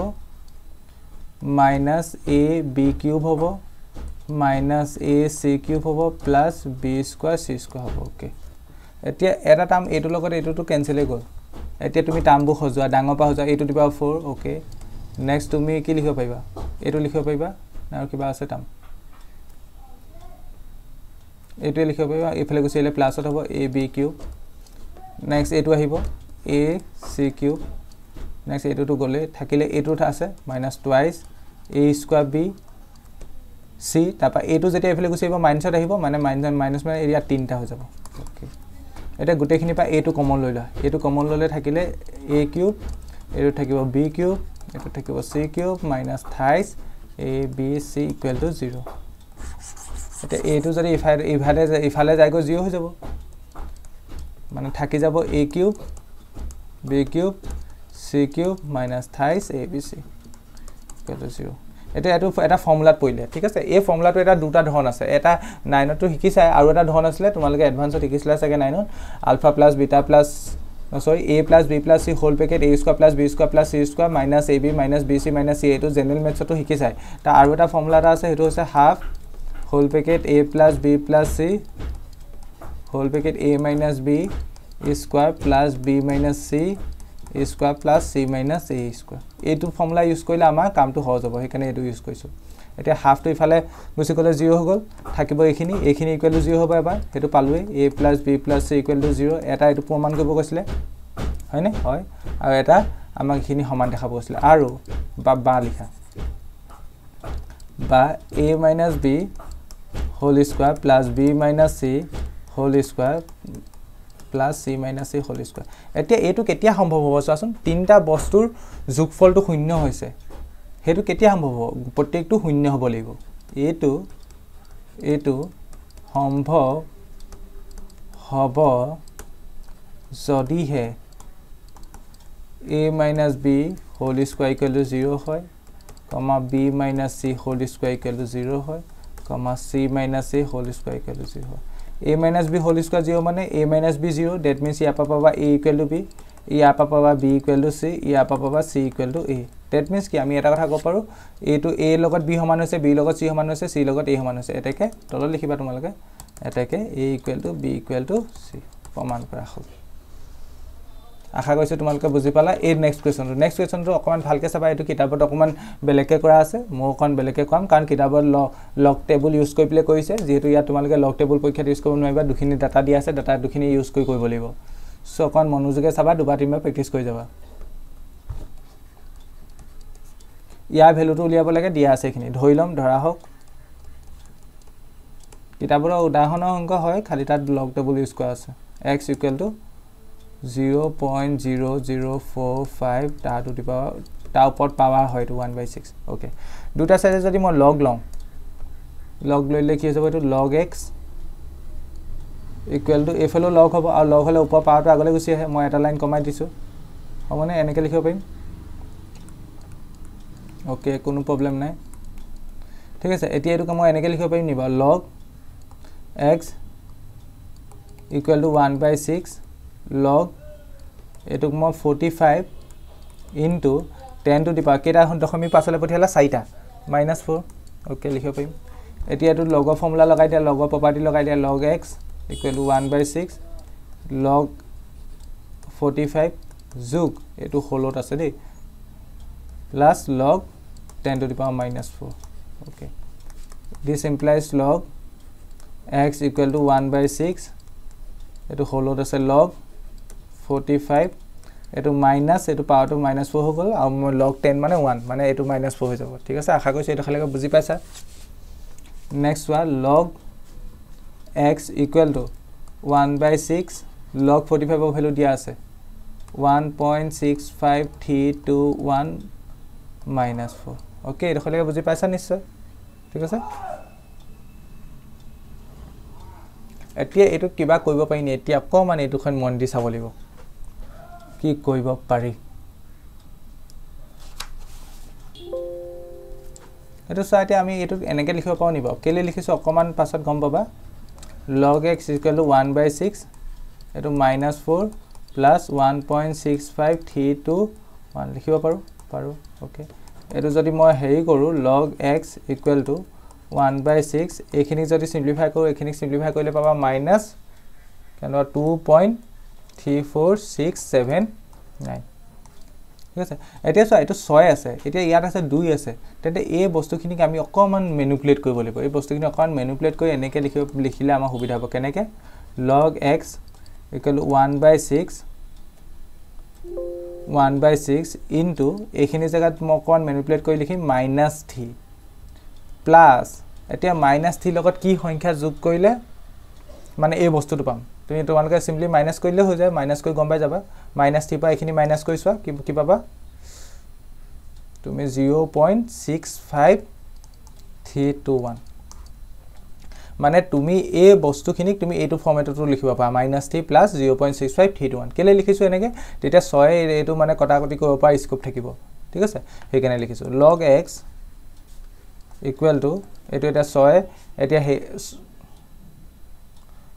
এতিয়া আৰু এটা কাম কৰা ইয়াত মাইনাছ ওৱান বাই ছিক্সটো হৈ গ'ল এইটো মাইনাছ থ্ৰী মই এইটোক এই এটা কাম কৰিছোঁ প্লাছ থ্ৰী এটা এড কৰিলোঁ ইয়াত মাইনাছ থ্ৰীৰ লগত প্লাছ থ্ৰী এটা এড কৰিলোঁ তাক আকৌ নাইকিয়াও কৰিলোঁ ঠিক আছে? Plus zero' point six five এইটো কাম কৰি আছোঁ কাৰণ ছিক্সৰ লগত মই কটাকটি যোৱা সংখ্যা এটা পাব বিচাৰিছোঁ। নেক্সট এইটো log x equal to one by six into এতিয়া মাইনাছ থ্ৰী মাইনাছ থ্ৰী মই এতিয়া লিখিব পাৰিম মাইনাছ ছিক্স অ'কে এতিয়া এই দুটা চোৱা এই দুটাক লিখিব পাৰিম plus three point six five three two one okay মিলি গ'ল। এতিয়া নেক্সট লাইনটো ইয়াতে এইফালে লিখিবা।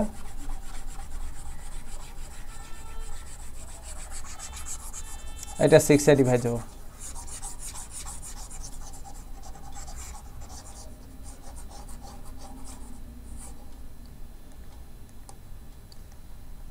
এইফালে লগ এক্সে আছে লগ এক্স ইকুৱেল টু এতিয়া ছিক্সে ডিভাইড কৰা যদি মাইনাছ ওৱান হ'ব প্লাছ এইটো ছিক্সে ডিভাইড কৰিলে three point six five two three two ওৱানক ছিক্সে ডিভাইড কৰি চোৱা zero' point six zero' eight eight six হ'ব। ঠিক আছে? দিছ ইমপ্লাইজ এইটোক লিখিব পাৰিবা তুমি লগ এক্স ইকুৱেল টু এইটোক লিখিব পাৰিবা তোমালোকে জানা নহয় এইটোক যদি মাইনাছ চিনডাল ওপৰত এনেকৈ এনেকৈ লিখিব পাৰিবা। Six zero' eight eight six okay এতিয়া ইয়াত আকৌ এটা মাথা লগাব লাগিব এইডোখৰলৈকে লিখিলোঁ আগে। মই ৰাফত দেখাই দিছোঁ। আমাক আৰু এটা ডাটা দিয়া আছে চোৱাচোন সেই ডাটাটো এতিয়ালৈকে ইউজ কৰা নাই। সেই ডাটাটো এতিয়া ইউজ কৰিব লাগিব। লগ টেবুল ইউজ কৰি কৰিবলৈ একদম ইজি কিতাপত তেনেকৈ কৰা আছে কিন্তু লগ টেবুল ইউজ কৰি নকৰিলে অকণমান বহুত মেনিপুলেট কৰিবলগীয়া হৈছে।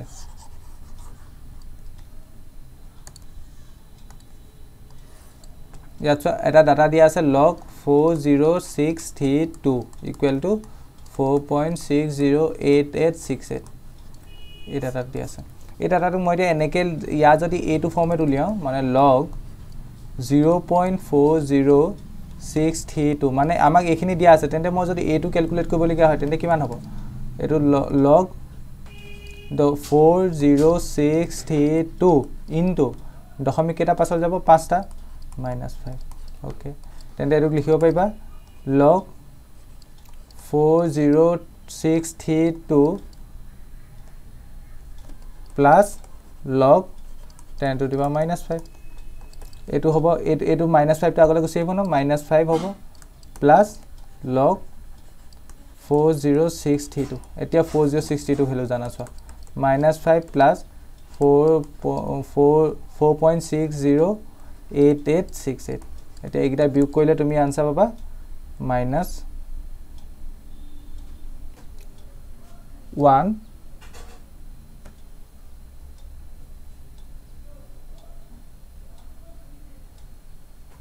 মাইনাছ ওৱান নোপোৱা। মানে তুমি পাবা মাইনা মানে এইকেইটা বিয়োগ কৰিলে যিটো পাবা এক মিনিট পৰা মই চাই দিছোঁ।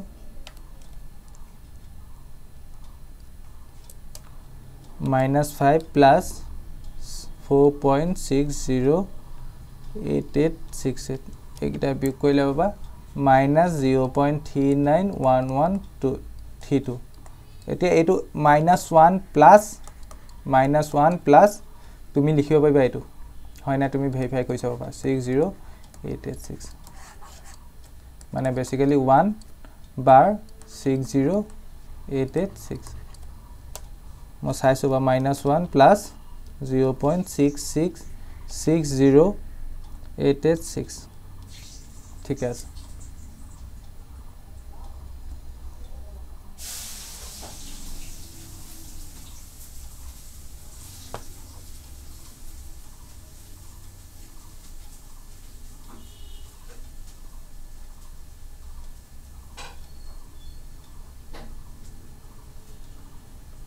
তেন্তে মই এইখিনি জেগাত লিখিব পাৰিম লগ এক্স তোমালোকে এইখিনি এবাৰ দুবাৰ কৰি গ'লে পৰীক্ষাত ডাইৰেক্টো লিখি দিব পাৰিবা ইমানখিনি ৰাফ কৰি থাকিব নালাগে। এইখিনি জেগাত তুমি কি লিখিব পাৰিবা?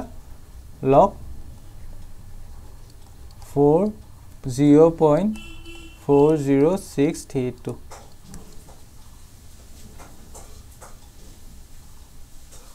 আৰু ইয়াৰ ভেলু হৈছে লগ এক্স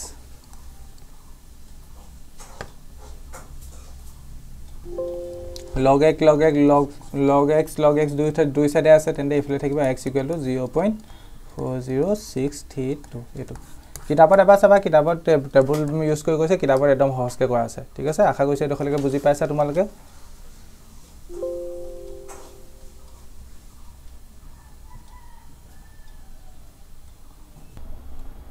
এতিয়া নেক্সট কুৱেশ্যনটো কি কৈছে চোৱা সোতৰ নম্বৰ কুৱেশ্যনটো কমিটি শব্দটোৰ অক্ষৰকেইটাই কিমান শব্দ গঠন কৰিব পাৰি? এটা শব্দ দিয়া আছে শব্দটো কি দিয়া আছে? কমিটি।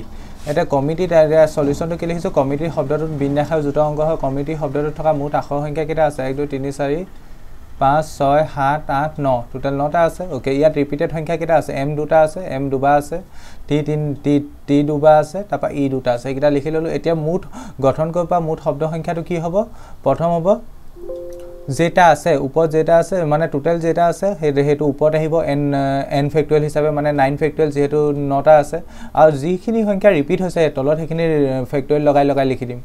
এম দুবাৰ আছে সেইকাৰণে টু ফেক্টুৱেল টি দুবাৰ আছে টু টু টু ফেক্টুৱেল আকৌ ই দুবাৰ আছে টু ফেক্টুৱেল নক আমি লিখিব পাৰিম নাই ন পূৰণ আঠ পূৰণ সাত পূৰণ ছয় ইণ্টু পাঁচ into four into three into two into one two two factorial মানে টু টু ফেক্টুৱেল মানে টু টু ফেক্টুৱেল মানে টু কটাকটি কৰিলে এইটো কিমান পাবা? Four five three six zero' পাবা। আশা কৰিছোঁ এইটো বুজি পালা। এতিয়া নেক্সট কুৱেশ্যনটো চোৱা।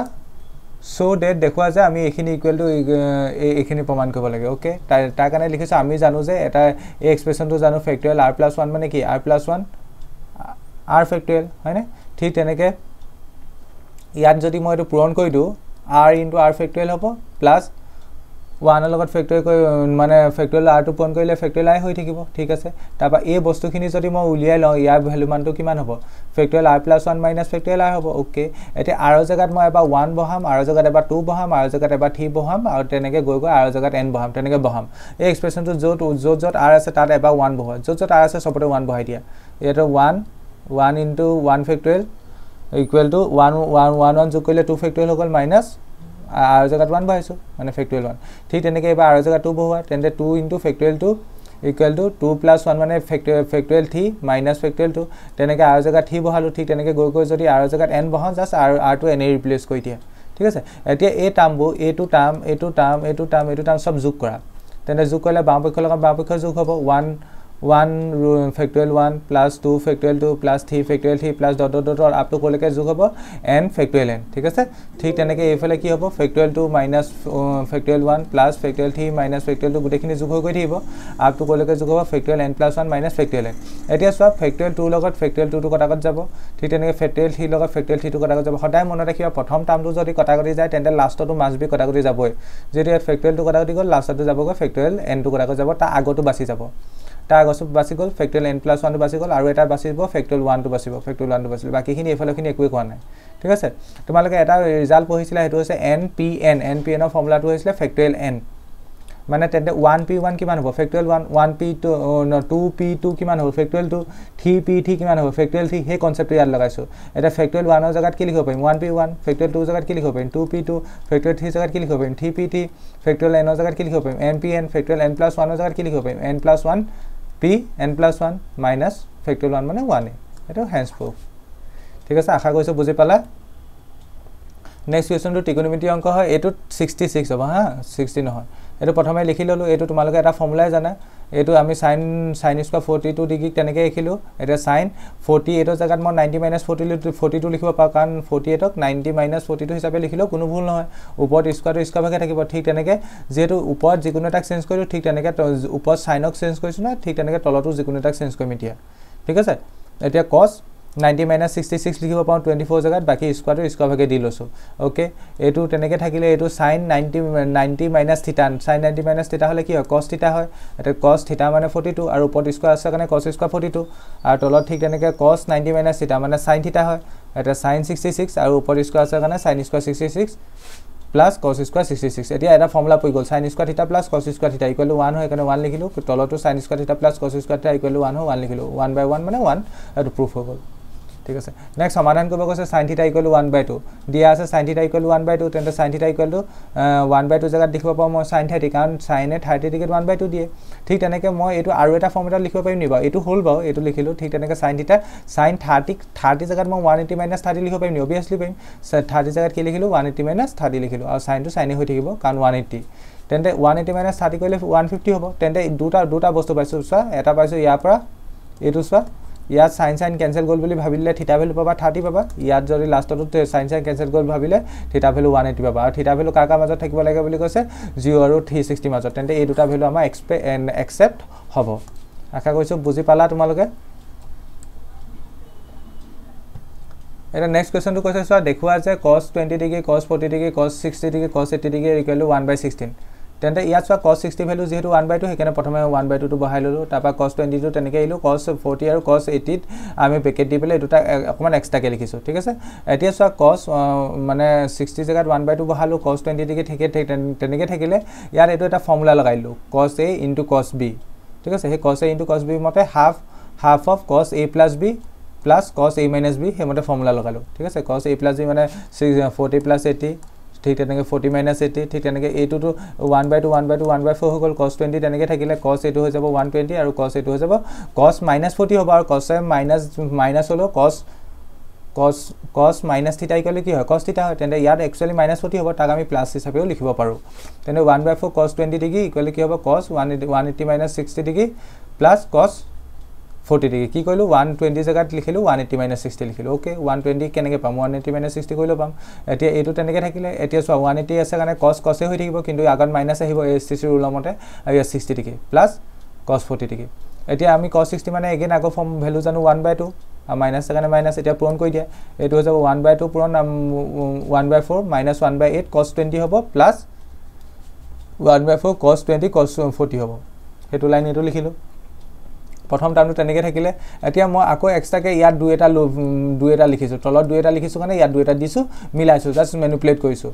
ইয়াত দুই এটা দিছোঁ কাৰণে তলত দুই এটা দিলোঁ। এইটো ওৱান বাই এইট হৈ গ'ল। এই এই টাৰ্মটোতো একেই থাকিলে। এতিয়া two into cos A into cos B formula আকৌ লাগিব এতিয়া। Two into cos A into cos B formula আকৌ লাগিব সেইটো কি আছিলে? Cos A plus B whole in cos A plus B plus cos A minus B সেইমতে formula বহাই দিলোঁ। চিম্প্লিফাই কৰিলোঁ এই দুটা কটাকটি গ'ল থাকিলে এইটো টাৰ্ম এই cos one by two value আকৌ one cos sixty degree value আকৌ ওৱান বাই টু তেন্তে ওৱান বাই ছিক্সটিন হ'ল। নেক্সট নেক্সট এতিয়া কুৱেশ্যনটো কৈছে ত্ৰিভুজ A B C angle A comma angle B comma angle C অন্ত সমদ্বিখণ্ডকে বি চি চি এ আৰু A B comma D comma E comma F বিন্দুত কাটিছে। যদি এ বি ইকুৱেল পাঁচ চেণ্টিমিটাৰ এ বি ভেলু পাঁচ চেণ্টিমিটাৰ বুলি কৈছে বি চি ভেলু আঠ চেণ্টিমিটাৰ বুলি কৈছে আৰু এ চি এ ভেলু কিমান বুলি কৈছে ফ'ৰ চেণ্টিমিটাৰ তেন্তে এ এফৰ মান সুধিছে এ এফ মানে এইডোখৰ মান সুধিছে চি এফৰ মান সুধিছে নেক্সট বি ডি মান সুধিছে। ডাটাখিনি লিখি ল'লোঁ ইয়াত প্ৰথম কি দি আছে চোৱা এ ডি এ ডি কোন এৰ সমদ্বিখণ্ডক হয়নে? কোন এৰ সমদ্বিখণ্ডক এ ডি তেন্তে আমি এই উপবাদ্য এটা লগাব পাৰিম কি লগাব পাৰিম? তেন্তে এ বি এ বি মানে এ বাহুডাল বাই এডাল A B by A C equal to B D by D C. হয়নে? হয়। তেন্তে এতিয়া কাৰ ভেলু লাগে? আমাক চোৱা এ বি ভেলু দিয়া আছে এ চি ভেলু দিয়া আছে আমাক কাৰ ভেলু লাগে বি ডি লাগে তেন্তে ডি চিক আমি কি বুলি লিখিব পাৰিম? B C minus B C minus B D লিখিব পাৰিম ডি চি জেগাত। হয়নে? সেইটো কৰিলোঁ।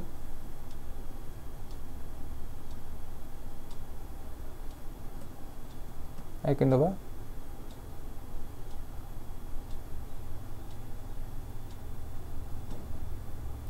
ইয়াত অকণমান বেলেগকৈ কৰি ল'লোঁ একো নাই বাৰু। মই ডাইৰেক্টে ওপৰটো ভাঙিলোঁ B C minus D C. এতিয়া ফাইভ বাই ফ'ৰ তেনেকৈ থাকিলে বি চি জেগাত এইট আহিলে মাইনাছ ডি চি ঠিক তেনেকৈ বজ্ৰপন কৰিলোঁ বজ্ৰপন কৰি দিয়াৰ লগে লগে ডি চি ওলালে। এতিয়া ডি চি ওলোৱাৰ পিছত মই বি ডিটো উলিয়াই লৈছোঁ। ডি চি ওলাই গ'ল ডি চি ওলাই গ'ল বি ডি কেনেকৈ ওলাব? B C minus D C. B C minus D C বা চি ডি একেটাই কথা ভেলু বহাইলোঁ বি ডি ভেলু পালা কিমান পালা B D value forty by ninety ঠিক তেনেকৈ বি কমা এংগুল বিৰ সমধিখণ্ড একে একেটা ফৰ্মুলা লাগিলে এই ওপৰটোক এই জেগাত এ চি মাইনাছ এই ই চি লিখিব পাৰিম ঠিক তেনেকৈ এ চি ভেলু ফ'ৰ তেনেকৈ বজ্ৰপন কৰি ই চি ভেলু পালোঁ thirty thirty two by thirteen ঠিক তেনেকৈ আকৌ একে এগেইন একে কনচেপ্ট এংগুল চি সমধিখণ্ড হৈছে চি এফ একেটা উপবাদ্য লগালোঁ ঠিক তেনেকৈ তলৰ বি এফক ভাঙিলোঁ কাৰণ আমাক এ এফৰ ফৰ্মুলাহে লাগে বা ভেলুহে লাগে A B minus A F লিখিলোঁ তাৰপৰা চিম্প্লিফাই কৰি আনচাৰ ওলাই গ'ল লাষ্টত আনচাৰকেইটা লিখি দিবা এনেকৈ। ঠিক আছে আশা কৰিছোঁ বুজি পালা এইডোখৰলৈকে নেক্সট কুৱেশ্যনটো কি কৈছে? ধৰা হওক এই মানে এডাল ৰেখাখণ্ডৰ স্থানাংক এডাল ৰেখা সৰলৰেখাই স্থানাংক অক্ষডাল দুডালক মানে এক্স অক্ষ ৱাই অক্ষৰ কথা কৈছে এ আৰু বি বিন্দুত ছেট কৰিছে ঠিক আছে? যদি এ বি ৰেখাখণ্ডৰ ৰেখাখণ্ডৰ মধ্যবিন্দু মাইনাছ থ্ৰী কমা ফ'ৰ হয় তেন্তে ৰেখাডালৰ সমীকৰণ উলিওৱা। মানে বস্তুটো এনেকুৱা ধৰণৰ ছবিত হ'ব মানে ছবিটো একজেক্ট মই অঁকা নাই ধৰি লোৱা এনেকৈ এইডাল এক্স অক্ষ এইডাল ৱাই অক্ষ। এনেকৈ এডাল ৰেখাই ধৰি লোৱা এক্স অক্ষক এ বিন্দুত কাটিছে ৱাই অক্ষক বি বিন্দুত কাটিছে এই ৰেখাডালৰ মধ্যবিন্দুটো দিয়া আছে। ছবিটো এইটো একজেক্ট নহয় দেই minus three comma four. Obviously এইটো এইটো একজেক্ট নহয় কাৰণ এই বিন্দুটো ইয়ালৈ আহিব। অ'কে তেন্তে আমাক কৈছে এই ৰেখাডালৰ মানে সমীকৰণ উলিয়াব লাগে। তেন্তে আমি প্ৰথমে ধৰি লৈছোঁ এ আৰু বি বিন্দু স্থানাংক। এই বিন্দুটো যিহেতু এক্স অক্ষত থাকিব সেইকাৰণে ইয়াৰ স্থানাংকটো ধৰিছোঁ এ কমা জিৰ' আৰু বি বিন্দুটো যদি যিহেতু ৱাই অক্ষত থাকিব তাৰ স্থানাংকটো ধৰিছোঁ zero' comma B that means কি এক্স অক্ষৰ স্থানাংক কিমান? মানে এক্সৰ স্থানাংক কিমান হ'ব? এ হ'ব। কাৰণ এক্সত এ এ গৈছে। ঠিক তেনেকৈ ৱাই অক্ষৰ স্থানাংক কিমান হ'ব? বি হ'ব। ঠিক আছে? স্মল এটা বি হ'ব। তেন্তে এই ৰেখাডালৰ সমীকৰণটো কি হ'ব? চেদাংশ ফৰ্মেটৰ মতে X by A plus Y by B equal to one okay equal to মানে এইটো হ'ল সমীকৰণ এক। ঠিক তেনেকৈ আমাক চোৱা এ বি ৰেখাডালৰ এ বি ৰেখাডালৰ মধ্যবিন্দু কিমান বুলি কৈছে? Minus three comma four A B ৰেখাডালৰ মধ্যবিন্দু মাইনাছ থ্ৰী কমা ফ'ৰ অৰ্থাৎ মাইনাছ থ্ৰী কমা ফ'ৰ বিন্দুটো A A comma zero' zero' comma B বিন্দু সংযোগী ৰেখাখণ্ডৰ মাজৰ বিন্দু। তেন্তে A plus zero' divided by two equal minus three হ'ব। ঠিক তেনেকৈ zero' plus B divided by two equal four হ'ব। চিম্প্লিফাই কৰিলে এ ভেলু পাম মাইনাছ ছিক্স বি ভেলু পাম এইট সেইটো ভেলুত বহাই দিলোঁ। আনচাৰ মানে সমীকৰণ একত বহাইলোঁ সমীকৰণ একত বহাই দিয়াৰ লগে লগে X by minus six plus Y by eight equal to one eight X minus six Y equal to minus forty eight এইটো চিম্প্লিফাই কৰিলোঁ এইটোৱে হ'ল সমীকৰণ। অ'কে নেক্সট এইটো কুৱেশ্যন এতিয়া ছেকশ্যন ডি পৰা এইকেইটা চাৰি নম্বৰ কুৱেশ্যন যদি জটিল সংখ্যা জেড ওৱান আৰু জেড টু এইটো জটিল সংখ্যা কুৱেশ্যন হয় ঠিক তেনেকৈ এইটো হ'ল জটিল সংখ্যা কুৱেশ্যন এইটো দীঘাত সমীকৰণৰ কুৱেশ্যন এইটো একেটাই ঠিক তেনেকৈ এইটো স্থানাংগ জ্যামিতি কুৱেশ্যন এইটো স্থানাংগ জ্যামিতি কুৱেশ্যন এইকেইটা মানে এই চেপ্টাৰ থ্ৰী কুৱেশ্যন এইটো জ্যামিতি কুৱেশ্যন অ'কে এইটো জ্যামিতি ঠিক আছে। এইকেইটাই আছে। মানে নেক্সট আমি এতিয়ালৈকে কুৱেশ্যন ডিছকাছ কৰিলোঁ টুৱেণ্টি থ্ৰীলৈকে কৰিলোঁ। এতিয়া তোমালোকক এটা এডোখৰ কথা এটা কওঁ মোৰ অকণমান টেকনিকেল বিজুতি হোৱাৰ কাৰণে মানে ভিডিঅ'টো আৰু ইয়াতকৈ যদি দীঘলকৈ প্ৰব্লেম হৈ যাব গতিকে মই কাম এটা কৰিছোঁ এই ভিডিঅ'টোৰ ডেছক্ৰিপশ্যনতে এই টুৱেণ্টি ফ'ৰ পৰা কুৱেশ্যন নাম্বাৰ টুৱেণ্টি ফ'ৰ পৰা কুৱেশ্যন নাম্বাৰ টুৱেণ্টি এইটলৈকে চলিউশ্যন থকা পি ডি এফ এটা পাই যাবা তোমালোকে পি ডি এফটো ডাউনলোড কৰি ল'বা। এতিয়া টুৱেণ্টি এইটলৈকে তো এতিয়া তোমালোকে যদি এতিয়া চাই আছা লগালগ ভিডিঅ'টো আপলোড কৰাৰ লগে লগে চাই আছা তেন্তে পি ডি এফটো অকণমান আপডেটেড হওঁতে টাইম লাগিব। তোমালোকে যিসকলে পাছত চাই আছা বা গধূলি মানে আজি গধূলি মানে এই পি ডি এফটো ডেছক্ৰিপশ্যনত পাই যাবা য'ত মই কুৱেশ্যন নম্বৰ টুৱেণ্টি ফ'ৰ পৰা টুৱেণ্টি এইটলৈকে ধুনীয়াকৈ লিখি দিম। বা তোমালোকে যদি বিচাৰা মই এটা ভিডিঅ' লৈ দিম কুৱেশ্যন নম্বৰ য'ত অনলি টুৱেণ্টি ফ'ৰ পৰা টুৱেণ্টি এইটলৈকে ডিছকাছ কৰিম। ঠিক আছে? এই পেপাৰখন কাৰণ তোমালোকে ভালকৈ চাবা কাৰণ এই পেপাৰখনৰ ফৰ্মেটৰ মতে আহিব। মই কি ক'লোঁ তেন্তে কুৱেশ্যন নম্বৰ টুৱেণ্টি থ্ৰীলৈকে ছল্ভ কৰিলোঁ এতিয়া কুৱেশ্যন নম্বৰ টুৱেণ্টি ফ'ৰ পৰা টুৱেণ্টি এইটলৈকে মানে লিখি পেলাই মই ডেছক্ৰিপশ্যনত দি দিম তোমালোকে তাৰপৰা ডেছক্ৰিপশ্যনৰ পৰা ডাউনলোড কৰি ল'ব পাৰা। এতিয়া লগালগ নাপাব পাৰা ভিডিঅ'টো এতিয়া যদি লগালগ চাই আছা কিন্তু অলপ পাছত পাই যাবা ডেছক্ৰিপশ্যনত ঠিক আছে? যদিহে তোমালোকে আমাৰ চেনেলত মানে এক্টিভ হৈ থাকিলে এই কুৱেশ্যনকেইটা চলিউশ্যন লৈ ভিডিঅ' এটাও আহিব। সেই ভিডিঅ'টো হ'লেও চাব পাৰা। চ' সেইকাৰণে চেনেলটো অকণমান এক্টিভ হৈ থাকিবা। ভিডিঅ' এটা অতি সোনকালে আহিব। কিন্তু এই এই ভিডিঅ'টো মানে ইয়াতকৈ দীঘল কৰিলে আমাৰ মানে অকণমান টেকনিকেল প্ৰব্লেম হ'ব সেয়েহে ভিডিঅ'টো ইমানতে মানে ষ্টপ কৰিবলগীয়া হৈছে। ভিডিঅ'টো চোৱাৰ কাৰণে আজি ধন্যবাদ। তোমালোকে এই চলিউশ্যন থকা ভিডিঅ'টো চাব পাৰা নহ'লে তলত ডেছক্ৰিপশ্যনত পি ডি এফ পাই যাবা। ধন্যবাদ।